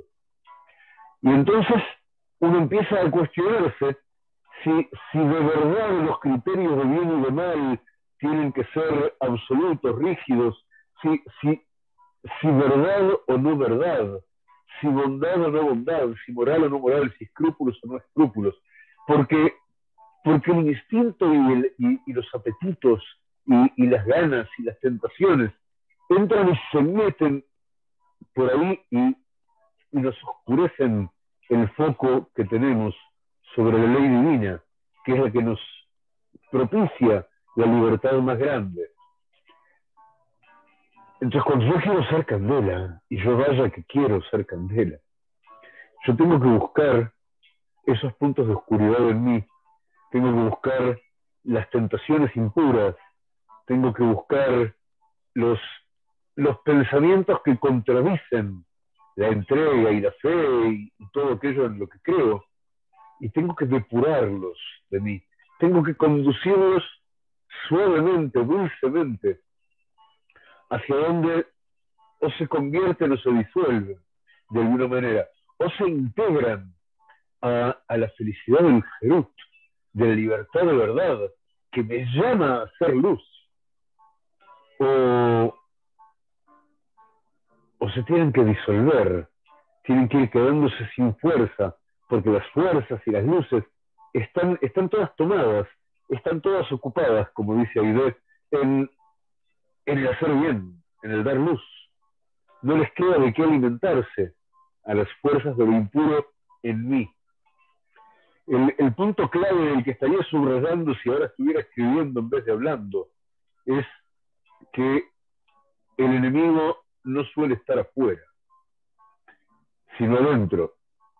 Eh, en general todo, el mundo que yo percibo en realidad eh, está dentro mío, no es exactamente el mundo que está afuera. Lo que yo percibo es lo que yo percibo y filtro a partir de lo que veo de afuera y lo que imagino a partir de eso y los prejuicios que tengo a, priori. Todo eso ocurre dentro de mí. Y, por eso me dice a Kadosh Baruj en la Torá, en Bereshit, me dice que Adam, que con la impronta divina, que es, que es como con la forma de lo divino, creó al hombre. Entonces yo tengo esa forma, esa impronta tengo eso que llamo lo divino que hay en mí, que es lo que me, es lo que me ayuda, si yo quiero, a, depurar mi enemigo interno, a, depurar a esos griegos que no eran griegos, eran parte de mí mismo, eran judíos como yo. Eh, y, y, eso es a nivel personal también, hacia adentro de mí mismo. Se trata de depurar a esa, a esa cultura basada, basada en la estética y en un montón de ídolos y todas esas cosas de las que no vamos a hablar ahora, pero depurarla adentro mío. Si yo la depuro adentro mío, voy camino de convertirme en candela y puedo sofisticar cada vez más aquello que imagino. Hay, hay algo que en mi propia historia de milagros eh, tengo que advertir y por consiguiente tengo que compartir. Yo tengo la sensación de que cuanto más sofisticas tu capacidad y tu capacidad llevada a la acción, de resonar con los milagros grandes, para tratar de proyectarlos, representarlos en milagros que tienen lugar en tu propio presente. Cuanto más sofisticas eso, eh, las cosas más grandes e importantes que te propones o, que, anhelas profundamente, las que en más gente pueden incidir para bien, son las primeras que se ponen en la fila y, en la fila de realizarse. Y, y pareciera es una sensación que tengo que apoyarla y ahora les voy a contar en qué tengo para apoyarla, pero la sensación es que, que uno entonces, cuanto más sofistica eso, que quiere decir que imagina y resuena con cosas que en el momento en que uno las resuena, tienen capacidad de hacer bien en círculos concéntricos en presente, lo, lo en muchos contextos distintos. Recuerdo que hablamos de esto, por ejemplo, en la serie de conferencias que hicimos en Barcelona hace muchos años junto con mi amigo Rabariel Don, que se llamó La Resurrección de los Vivos. Eh, está a modo de playlist en YouTube. Eh, el hecho de que para hacer mitzvot como esas, para hacer acciones grandes que hagan bien, uno tiene que pagar. Eso se estudia sobre todo siempre hacia Sukkot, cuando nos vamos acercando a Sukkot, y, y entonces aparecen en la memoria todos los cuentos de los minerales que la gente llegó a pagar alguna vez por un etrog, para poder cumplir con la mitzvah preciosa del etrog. Y hay gente que hoy día compra, compra un etrog antes de Sukkot por cantidades delirantes de dinero. Y no son delirantes, es la sensación de quiero comprar la mitzvah. Y yo digo que cuando cuando las mitzvot se hacen por vía de sofisticar esa resonancia hasta que te captura por completo porque vives en ella, entonces pagas carísimo por eso en precios de este mundo. Y, está bien pagar carísimo por ello en precios de este mundo. Eh, enseña la Gemara, ahora no me acuerdo exacto dónde está, pero enseña la Gemara muy claramente que la cita dice así, el Creador juzga a los tzadikim, a los justos sagrados, a los que logran llegar o, no llegar, a los que logran estar siempre en esa sintonía del camino de ser un tzadik, de ser un justo sagrado. Dice, el creador los juzga por cosas que son del ancho de un cabello. Y no así a todos. No. A quien más sofisticó, a quien más hondo hizo, más entrañó su unión con el Creador, a ese, una falta que en una persona normal pasa desapercibida o como si fuera desapercibida. No incide en nada en la relación entre el creador y él, en un sadik. Eso puede desencadenar tanto que entonces viene el hachazo. Y, eso no, importa, olvidados del sadik, la sofisticación, la, el estar trabajando puzzles microscópicos e infinitos a la vez, sale carísimo en precios de este mundo. Y lo he visto en, muchos casos y en mucha gente, eh, sobre todo en gente que de esa de la que no pude llegar a despedirme porque se me murieron un rato antes, un minuto antes, y muchos de vosotros conocéis algunas de esas historias. Eh, eso tiene que ver con lo otro que enseña la Gemara, si la memoria no me falla en algún punto del Tratado de Brajot, de que, y, también es, tan de sentido común y lo hemos conversado tantas veces, cuanto más alto subes, si te caes, más hondo te caes. Eh, y, eso quiere decir lo mismo. Entonces tenemos, tendríamos que ser muy cautos, tendríamos que ser muy cautos para, para cuidar de ese equilibrio sagrado de no ir más allá de donde ya no podemos administrar qué va a hacer de nosotros mismos. Eh, yo tengo que agradecer, aparte de lo que dije al principio, tengo que agradecer dos milagros que he dejado de pedir hace un buen rato. Y he pasado a dar por hechos, al menos en lo que a mí respecta, eh, entonces agradezco por el milagro que solo tiene que encontrar su momento y su lugar, su circunstancia propicia en la que todos los actores son capaces de vivirlo. Ese milagro en el cual mis dos hijas menores, de quienes hace entre 80 y 90 semanas que casi no tengo noticia, eh, vivo cada día al menos un rato de cada día y agradezco el milagro que ha de tener lugar del despertar de sus corazones.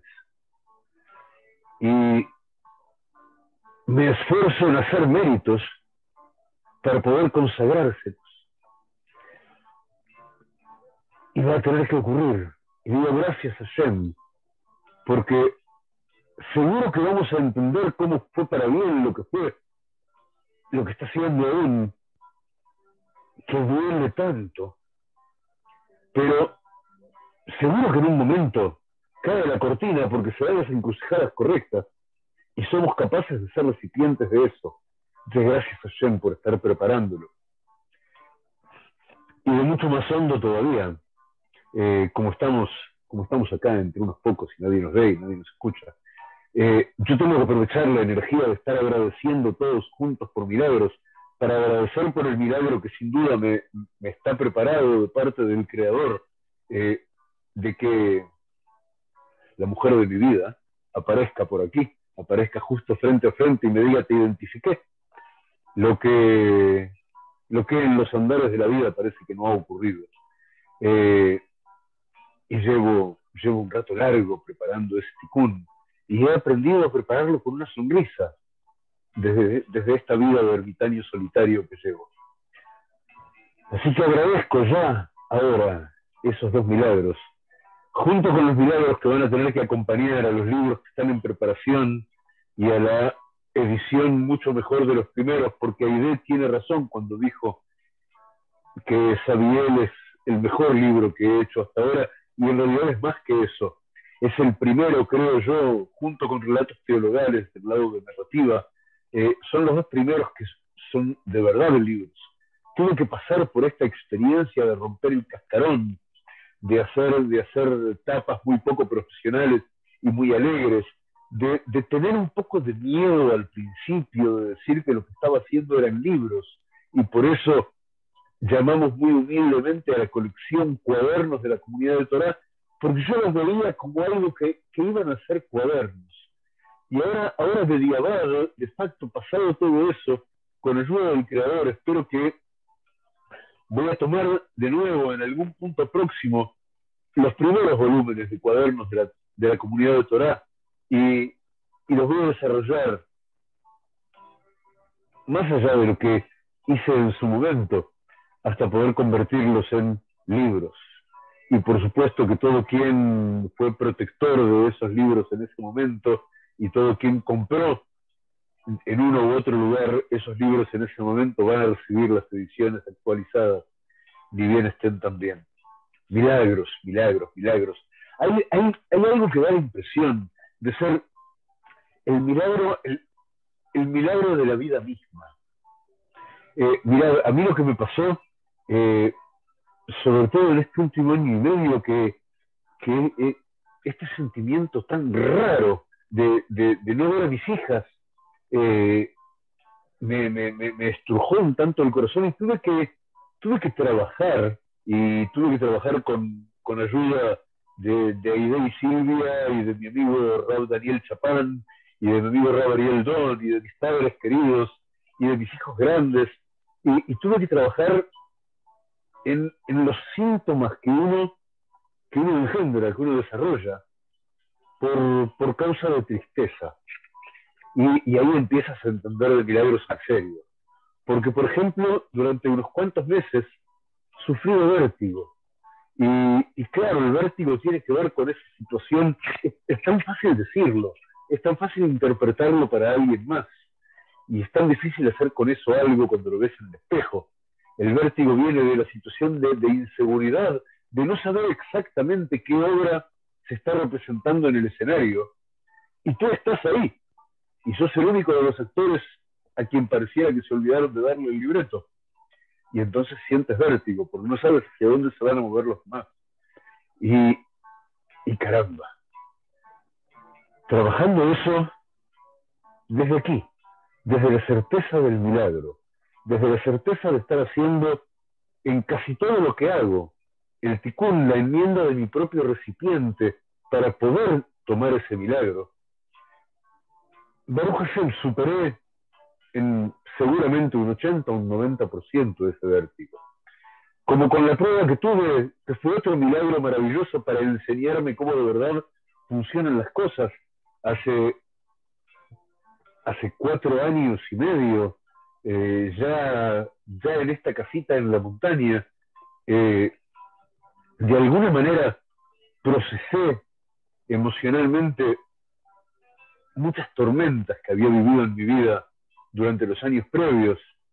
Y, en un momento determinado, en Rosh de hace cuatro años y, cuatro meses, casi, en Rosh Hashanah ocurrió al inicio del año, que saltaron de algún modo, yo no, soy médico, soy poeta, y así lo digo y así lo cuento, eh, saltaron de algún modo eh, algo así como cinco hernias de disco en, en mí. Eh, la primera acá arriba, la, la última ya sobre el final de la espalda, y de repente, de un día para el siguiente, empecé a vivir con un dolor espantoso en todo mi brazo izquierdo y corrientes eléctricas que llegaban hasta la punta de los dedos. Y, y, era, terrible, y no podía mover el cuello, y eso hace, hace, hace sentir como un sumido todo el tiempo. Y entonces me sentía en estado algo débil como para trabajar sobre mí mismo. Entonces hice lo que otra gente, lo que la gente normal hace. Fui a médicos y fui a traumatólogos y fui a clínicas del dolor, no me, no me olvido cómo me torturaron en una clínica del dolor, salí de ahí con, con, un dolor muchísimo más intenso que el que tenía al principio, y llegó un momento al cabo de unos meses que yo andaba con parches de morfina, y unos parches de morfina tan fuertes que en ninguna farmacia se conseguían sin encargarlos con una semana de anticipación, y me seguía doliendo. Y en ese momento me di cuenta que no, que eso iba a seguir doliendo si yo no curaba lo que originaba todo ese dolor, lo que ese dolor venía a señalar. Y, algunos de los presentes, eh, creo que por aquí hay entre los presentes eh, quienes estuvieron en comunicación conmigo en aquellos días. Y yo estuve como tres meses haciendo muy poco, la mayor parte del tiempo sentado aquí, justo donde estoy sentado ahora mismo, en este sofá rojo que me viene acompañando hace muchas casas. Y estuve sentado acá, revisando lo que pasaba en mi corazón. Y abandoné todos los medicamentos que me habían dado y todos los analgésicos que no me habían servido de nada. Y abandoné todo eso y solamente, mientras sufría de unos calambres y unas corrientes eléctricas horribles que me hacían gritar de dolor a veces, fui sacando del corazón todo aquello que no tenía por qué estar ahí, todo aquello que tenía guardado así y que solo tenía que liberarlo porque no había nada que yo tuviera para hacer con nada de eso, con nada de lo que me había pasado. Lo único que yo podía hacer era endulzarlo adentro de mí mismo y resultar ser yo mejor tipo que el que fuera previsible que, que sería eh, tras haber vivido todo eso, y el resto tenía que estar en manos de Hashem. Y de verdad, al cabo de tres meses, más o menos, como recuerdo, al cabo de tres meses me curé en un por lo menos 80%. Hasta el día de hoy, muy excepcionalmente, tengo algún, algún dolor derivado de esas cosas que se movieron de lugar en alguna parte y no, no volví a dedicarme al tema. Mis agradecimientos, mis gratitudes, mis milagros, gracias, gracias, gracias por dejarme compartirlos.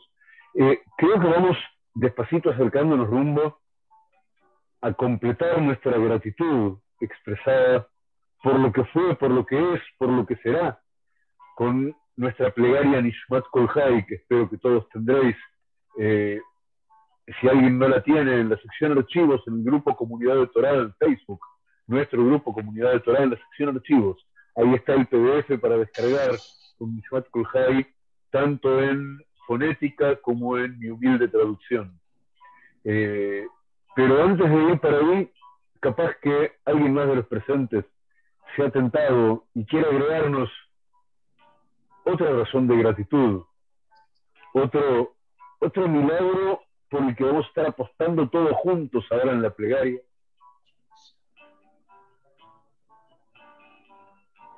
¿Quién toma la palabra? Gracias, Rap. Fíjese que por ahí estaba levantando su mano Yoshanan Vargas. Si quieres poner el audio, tu micro. Por supuesto.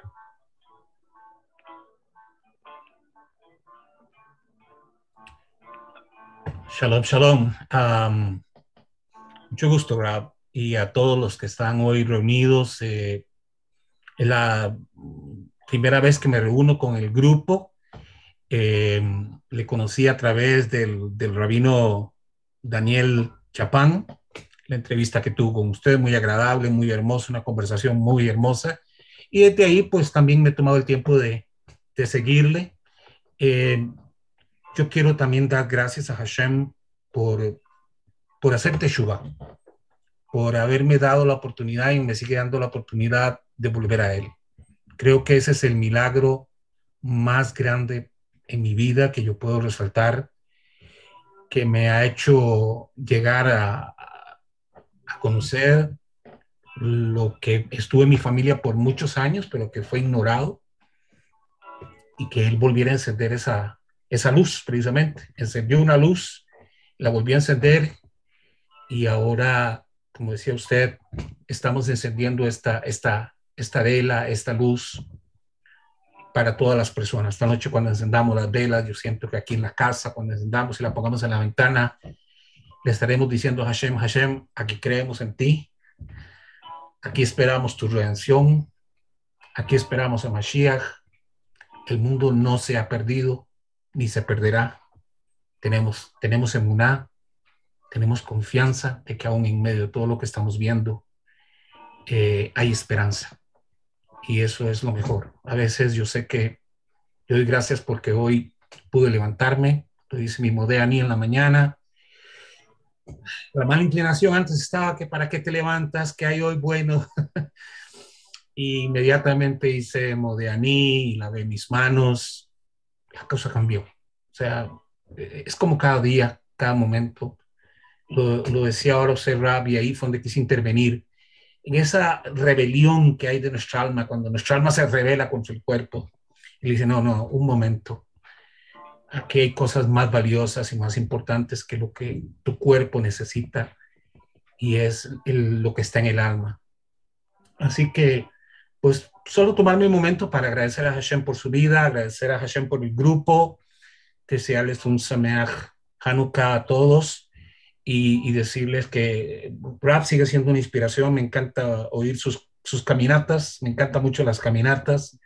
Las caminatas me, me, me, me inspiran mucho, eh, me, gozo, me imagino caminando con usted ahí en ese, en ese lugar y viendo lo que usted está viendo.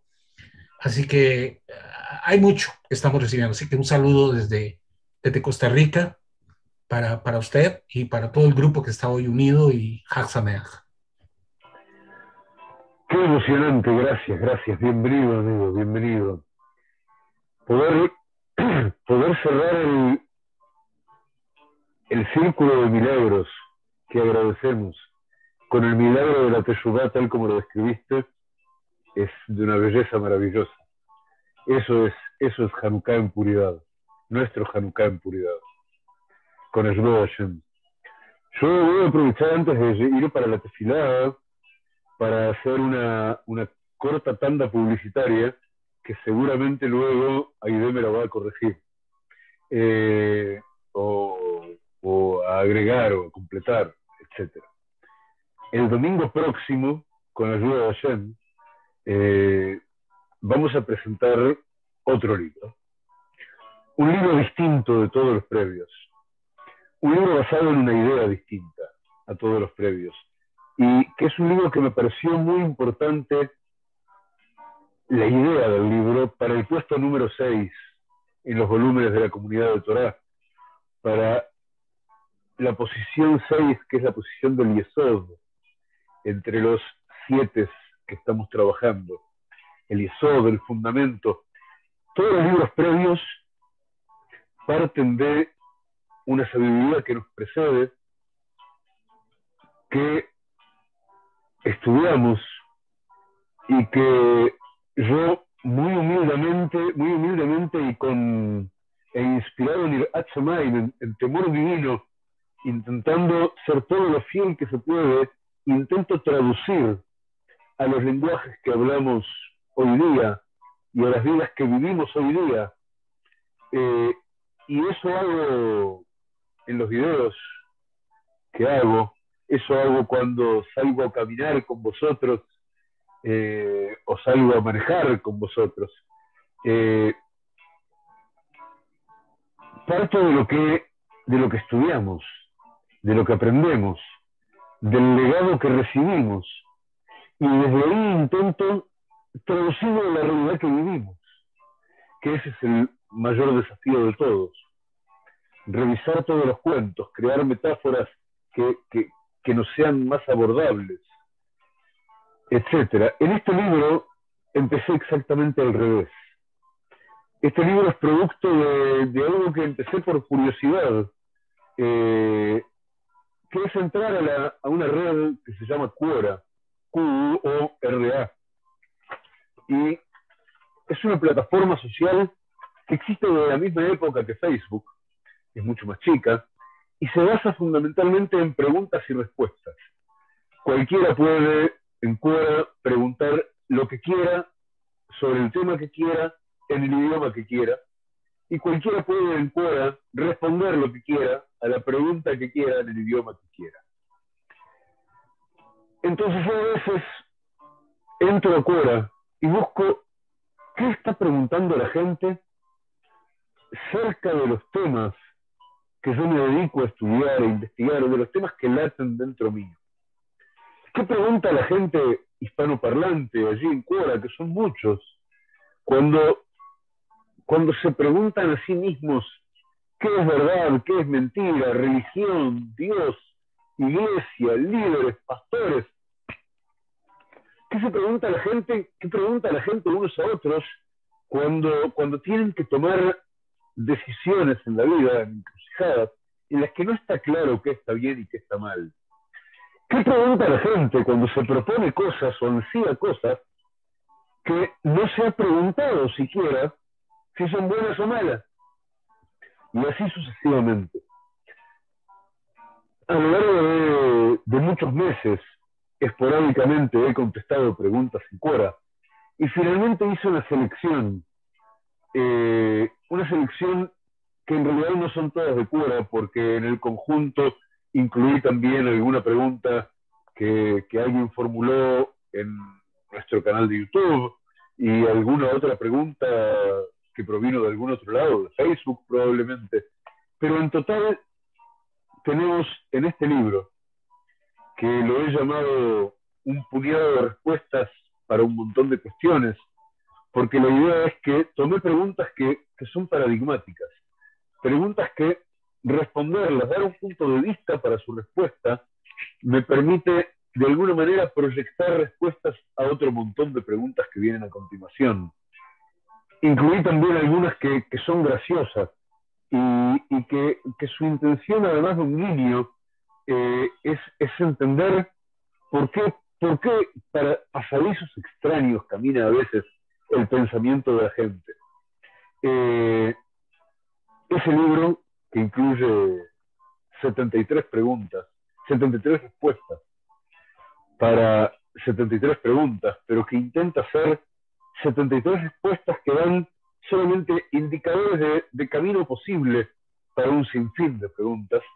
Con ayuda de Hashem lo vamos a presentar dentro de una semana, domingo, en la octava vela de Hanukkah, eh, en el cumpleaños de mi hija Talia, que Hashem la bendiga. A la misma hora, en el mismo canal, vamos a estar repartiendo el link en los próximos días. Eh, ahora sí, eh, Aide, ¿quieres, ¿quieres corregir, complementarme? Whatever, ¿qué más? Eh, tanda publicitaria. Quiero decirles algo que, que no se entere el rap que les voy a decir, que no vean. Va a ser un taller de Esabiel un taller de Esabiel, que van a ser cuatro sesiones, que él nos va a explicar el manual, libro, guía del, de, tema de Esabiel, 610 a 616. Y estamos, de hecho, los chicas de los chats de nosotros, de Silvia Pizarro y mío, pues ya tienen la información y todo. Los protectores van a tener un precio especial los que han comprado el ebook de Sabiel también y en eh, inscripción normal es 72 dólares, de una vez les digo, 72 dólares que incluye el ebook, obviamente, ¿no? Entonces, que se vayan inscribiendo para que... Espérense porque el lengo está hablando, hablando, bueno, así habla mi perro. este, 72 dólares para que se inscriban, para que vayan, les mandemos el libro. Eh, seguramente el RAP va a generar ese producto en, en la plataforma de Gumroad y así, ¿no? Pero bueno, eso es una cosa maravillosa que gracias a Shem el RAP este, quiso hacer y súper bueno. Otra cosa de los protectores, ahorita la próxima semana tenemos la, la presentación del, del, volumen 6, un puñado de respuestas para un montón de cuestiones del, del RAP Daniel Hinnerman y hay una manera de ser protector. ¿Qué es un protector? Un protector es una persona que hace una acá de 50 dólares por lo menos para tener méritos en ese libro. ¿Qué vamos a hacer con los méritos? ¿Se acuerdan que dijeron que el RAP contó algo sobre un montón de dinero para un etrog? Bueno, pues un montón de dinero, que no es un montón de dinero, 50 dólares para ser protector del, del libro. Cuando eres protector, te constituyes en socio del libro, como si tú tuvieras esa, eh, como decía, ¿se acuerdan? Como decía este, cuando oramos algunos de los salmos y decimos, Hashem, recibe este salmo como si yo hubiera comprendido, entendido y perfectamente teniendo claro lo que dije. Bueno, así, dando, haciendo, siendo protector del ebook, te, hace, te constituyes hacedor del ebook. Así que es maravilloso, pueden, pueden hacerse protectores de, los libros del Rabbi en bueno, protectores para el que está en tránsito, ahorita puede ser protector del volumen 6 y también anotarte a la, al taller de Esabiel, que todavía no tenemos fecha, pero ya anótense. De hecho, gracias a todas las chicas que ya están anotadas, estamos así como a ver cuándo ya empezamos con esto. Maravilloso. Eh, y obviamente también puedes adquirir todos los libros, el libro 1, Siete Maravillas de la Medicina Divina, el libro 2, Siete Sueños que hay en la Torah, el libro 3, Siete Señales de Tránsito Divino, el 4, Mujeres Profetas, geniales también, todos geniales, pero es que yo me pongo emocionada por todos. Y el volumen 5 de Xavier, ya saben, el volumen 6 puede ser protector o adquirirlo. Y el próximo domingo pues tenemos el estreno y la gala de la presentación de nuestro sexto libro. Digo nuestro porque soy protectora, ¿ok? Así que, así que me apunto como nuestro libro. Este, no solo Baruch Hashem. Baruch Hashem, Así que muchas gracias, Raf. Muchas gracias a Hashem por la inspiración que le da para escribir todo eso que nos alumbra a todos. Y una de las cosas que, que dijo me erizó la piel cuando, cuando dijo que cuando no haces lo que hay que hacer, realmente tu vida no tiene sentido, ¿no? Entonces, cuando, cuando salí del hospital, y yo creo que yo creo que a todos nos ha pasado, por lo menos a mí, sí, nos ha pasado que en algún momento de nuestra existencia nos sentimos como en rutina, ¿no? De, bueno, ya voy a amanecer, voy a que voy a despertarme, bañarme, hacer, haces todo tu, tu, lista, hasta la puedes saber de memoria, y el otro día lo mismo. Entras como en un bucle de aburrimiento de la vida y de pronto pues has oído cuando dicen, es que la vida no tiene sentido. Pues claro que no tiene sentido porque estás vacío, estás vacío de ti, estás vacío de la divinidad. Y entonces cuando te hace sentido, es cuando te das cuenta que todo lo que tienes afuera sobra si no tienes la, luz o la divinidad en ti manifestada. Eso, cuando estás a punto de morirte, como me pasó el año pasado, puedes tener lo que quieras en exterior, lo que quieras, llámese este, cosas, tu mascota, ¿no? Que acaba de ladrar, mis hijos, mi familia, lo que sea, lo que sea, el dinero en el banco, lo que quieras. Pero si no tienes la energía vital que Hashem te da, no tienes esa aliento de vida, esa minúscula cosa que, que, todos están padeciendo ahora con el miedo, terror de perderlo, ¿no? Y tienes miedo de morirte, pero no tienes miedo de vivir, o sea, es una cosa extraña. Así, y tienes miedo de vivir, perdón. Entonces, ahí es cuando dices, ¿qué voy a hacer? Y yo le dije a Shem, voy a hacer esto y esto y esto si me dejas vivir. ya estamos. Así que no voy a decir que dije, pero sí dije cosas.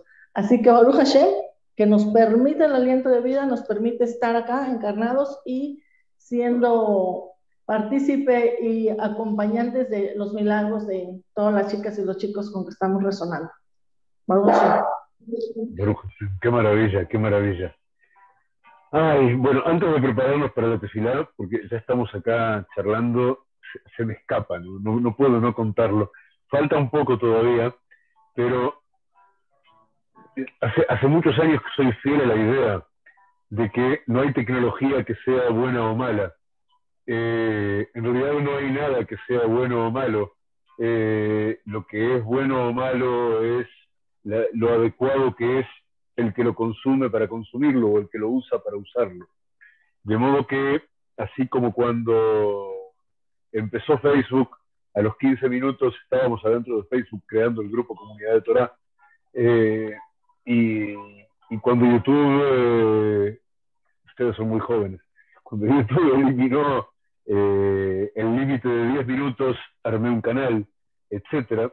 Ahora es un tiempo de hacer muchas cosas interesantes que están naciendo y que, y, que tienen tienen aires de libertad. Y eso me encanta, porque poner Torah en tecnologías con aire de libertad es una belleza. Entonces digo solamente el título, si alguien está relacionado, tiene una mínima idea o ha visto algún video de divulgación acerca del mundo cripto, de lo que se llaman NFTs y cuestiones por el estilo, eh, si no, no importa, llegado el momento, vamos a explicar las cosas y vamos a llevarlos de la mano a donde hay que ir, pero con ayuda de Shem tenemos en preparación una colección de NFTs que, ojo, NFTs no son dibujitos eh, que alguien los pone en algún lado y por alguna estúpida razón alguien va y paga un montón de dinero por ellos. No, el dibujito es en realidad solamente la tapa visible de lo que tienes. Eh, lo que tienes es un producto encriptado. Y ese producto encriptado, nuestra colección de NFTs con ayuda de Shem, va, va a ser una, una colección de productos encriptados que van a incluir dentro de ellos, por ejemplo, toda la serie de los cuadernos de la comunidad de Torah. Por ejemplo, todo el curso de Tarot Hasidic que hicimos hace un par de años y estamos organizando. Por ejemplo, el curso taller que vamos a hacer juntos, basado en el libro de Sabiel, pero tratando de aprender cómo llevarlo a la práctica. Todas esas cosas van a estar encapsuladas, aparte de estar en Gumroad, pero en la nueva tecnología, en, el nuevo modo de hacer las cosas de la nueva Internet, de lo que llaman la Web 3.0, vamos a estar con ayuda de Hashem desde el principio con productos encapsulados en criptomoneda, en NFT, en el marketplace de OpenSea, que es el más grande de todos, etcétera. Y por supuesto, eso va a ir acompañado con ayuda de Hashem. Esto va a ser más rápido. Esto va a ser, espero que en un par de semanas, de un servidor en Discord. Un servidor en Discord con posibilidad de un montón de formas de comunicación y de actualización automática entre todos los que estamos alrededor de estos encuentros, de los libros, de los videos, de lo que hacemos en, Facebook, en Instagram, en TikTok, a la postre de los conjurados por la razón en este tiempo tan caótico que, que queremos apegarnos al Creador y queremos apegarnos a la Torá y practicar vidas con sentido que inciden en otros con sentido, como candelas de Hanukkah, de eso se trataba todo. Así que ahí estamos, queridos amigos. Los invito a, ahora, que hemos, hemos hablado tanto acerca de milagros, hacia atrás, hacia adelante, todos tenemos milagros que agradecer y milagros que queremos ver patentarse ante nuestros ojos y ya estamos aprendiendo a agradecer por ellos. Vamos a hacer unos instantes de silencio.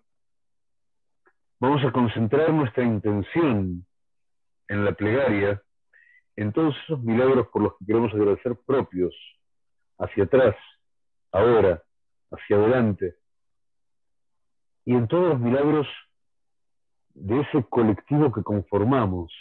Vamos a decir gracias todos por los milagros de todos, hacia atrás, ahora, y hacia adelante. Unos segundos de silencio. Yo voy a pronunciar en voz alta la plegaria Nishmat Kulhai en hebreo.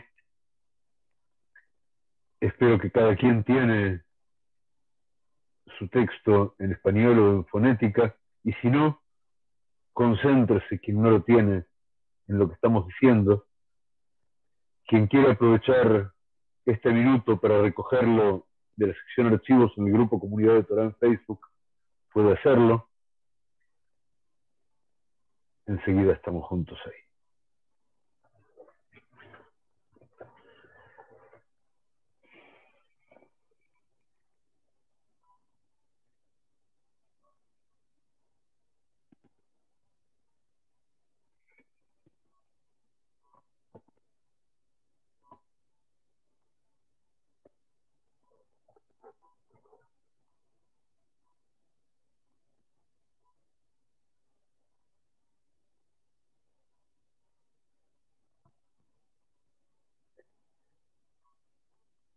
Por la salud plena,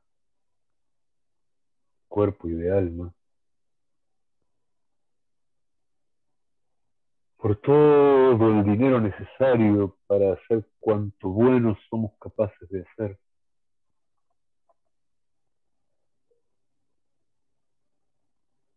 Gracias por amor, por todos los amores.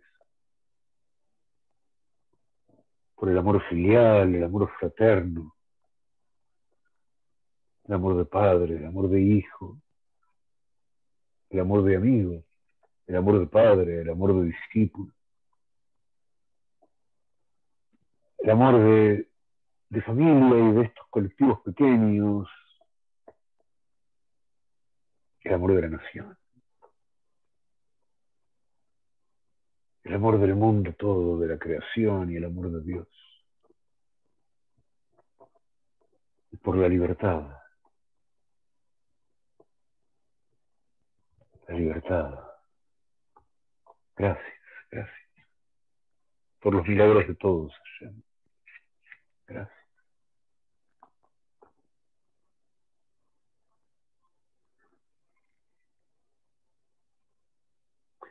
נשמעת כל חי, תברך את שמך, אדוני אלוהינו. ורוח כל בשר תפאר ותרומם, זכרך מלכנו תמיד. מן העולם ועד העולם אתה אל. ומבלעדיך אין לנו מלך גואל ומושיע פודה ומציל ומפרנס ועונה ומרחם בכל עת צרה וצוקה. אין לנו מלך עוזר וסומך, אלא אתה. אלוהי הראשונים והאחרונים. אלוהי כל בריות אדום כל תולדות המהולל ברוב התשבחות. המנהג עולמו בחסד ובריאותיו ברחמים באדוני עיר. הנה לא ינום ולא ישן המעורר ישנים והמיקיץ נרדמים המשיח אילמים והמתיר אסורים והסומך נופלים והזוקף כפופים והמפענח נעלמים ולך לבדך אנחנו מודיעים. ואילופינו מלא שיר הקיים ולשוננו רינה כהמון גליו ושפתותינו שבח כמרחבי רקיע בעינינו מאירות כשמש וכירח, וידינו פרוסות כנשרי שמיים, ברגלינו קלות כאיילות. אין אנחנו מספיקים להודות לך, אדוני אלוהינו ואלוהי אבותינו, ולברך את שמך מלכנו. על אחת מאלף אלפי אלפים וריבי רבבות פעמים הטובות, ניסים ונפלאות, שעשית עם אבותינו ועמנו. מלפנים ממצרים גאלתנו, אדוני אלוהינו, מבית עבדים פביתנו. ברעב זנתנו, בשובע קלקלתנו, בחרב הצלתנו, מדבר מילתתנו. ובחלואים רעים ברבים ונאמנים דיליתנו. עד הנה זרונו רחמך ולא עזבונו חסדיך, אדוני אלוהינו. ואל תצאנו, אדוני אלוהינו. לנצח. על כן, איברים שפילגת בנו, ברוח ונשמה שנפחת באפינו, ולשון אשר שמת בפינו, כן הם יודו ויברכו וישבחו ויפוארו וישוררו וירוממו ויעריצו ויקדישו וימליכו את שמך מלכנו תמיד. כי כל פה לך וכל לשון לך תשבע, וכל עין לך תצפה, וכל ברך לך תכרע, וכל קומה לפניך תשתחווה, וכל הלבבות יראוך, וכל קרב וכליות יזמרו לשמך כדבר שכתוב. כל עצמותי תאמרנה, אדוני, מי כמוך. מציל עני מחזק ממנו ועני ואביון מגוזלו. שבעת עניים אתה תשמע, צעקת הדל תקשיב ותשיע, מי ידמה לך ומי ישווה לך ומי יערוך לך, האל הגדול, הגיבור והנורא, אל עליון קונה שמיים בארץ. נהללך ונשבחך ונפארך ונברך את שם קודשך, כאמור לדוד ברכי נפשי את אדוני. בכל קרבי את שם קודשו. האל ותעצמות עוזך. הגדול בכבוד שמך. הגיבור הנצח והנורא ונוראותיך המלך היושב על כיסא רם ונישא, שוכן עד מרום וקדוש שמו, וכתוב רננו צדיקים באדוני לישרים, אהבה תהילה, בפי ישרים תתרומם, ובשפתי צדיקים תתברך, ומלשון חסידים תתקדש, ובקרב קדושים תתהלל. ובמקהלות רבבות עמך בית ישראל ברינה יתפאר, שמך מלכנו בכל דור ודור. שכן חובת כל היצורים לפניך, אדוני אלוהינו ואלוהי אבותינו. להודות, להלל, לשבח, לפאר, לרומם, להדר, לנצח, לברך, לעלה ולקלל. על כל דברי שירות ותשבחות, דוד בן ישי עבדך משכתך, ובכן נשתבח שמך לעד מלכנו, האל המלך הגדול והקדוש, בשמיים ובארץ, כי לחנאי אדוני אלוהינו ואלוהי אבותינו לעולם ועד. שיר ושבחה הלל וזמרה עוז וממשלה נצח גדולה וגבורה, תהילה ותפארת קדושה ומלכות ברכות והודאות. לשמך הגדול והקדוש, ומעולם ועד עולם אתה אי.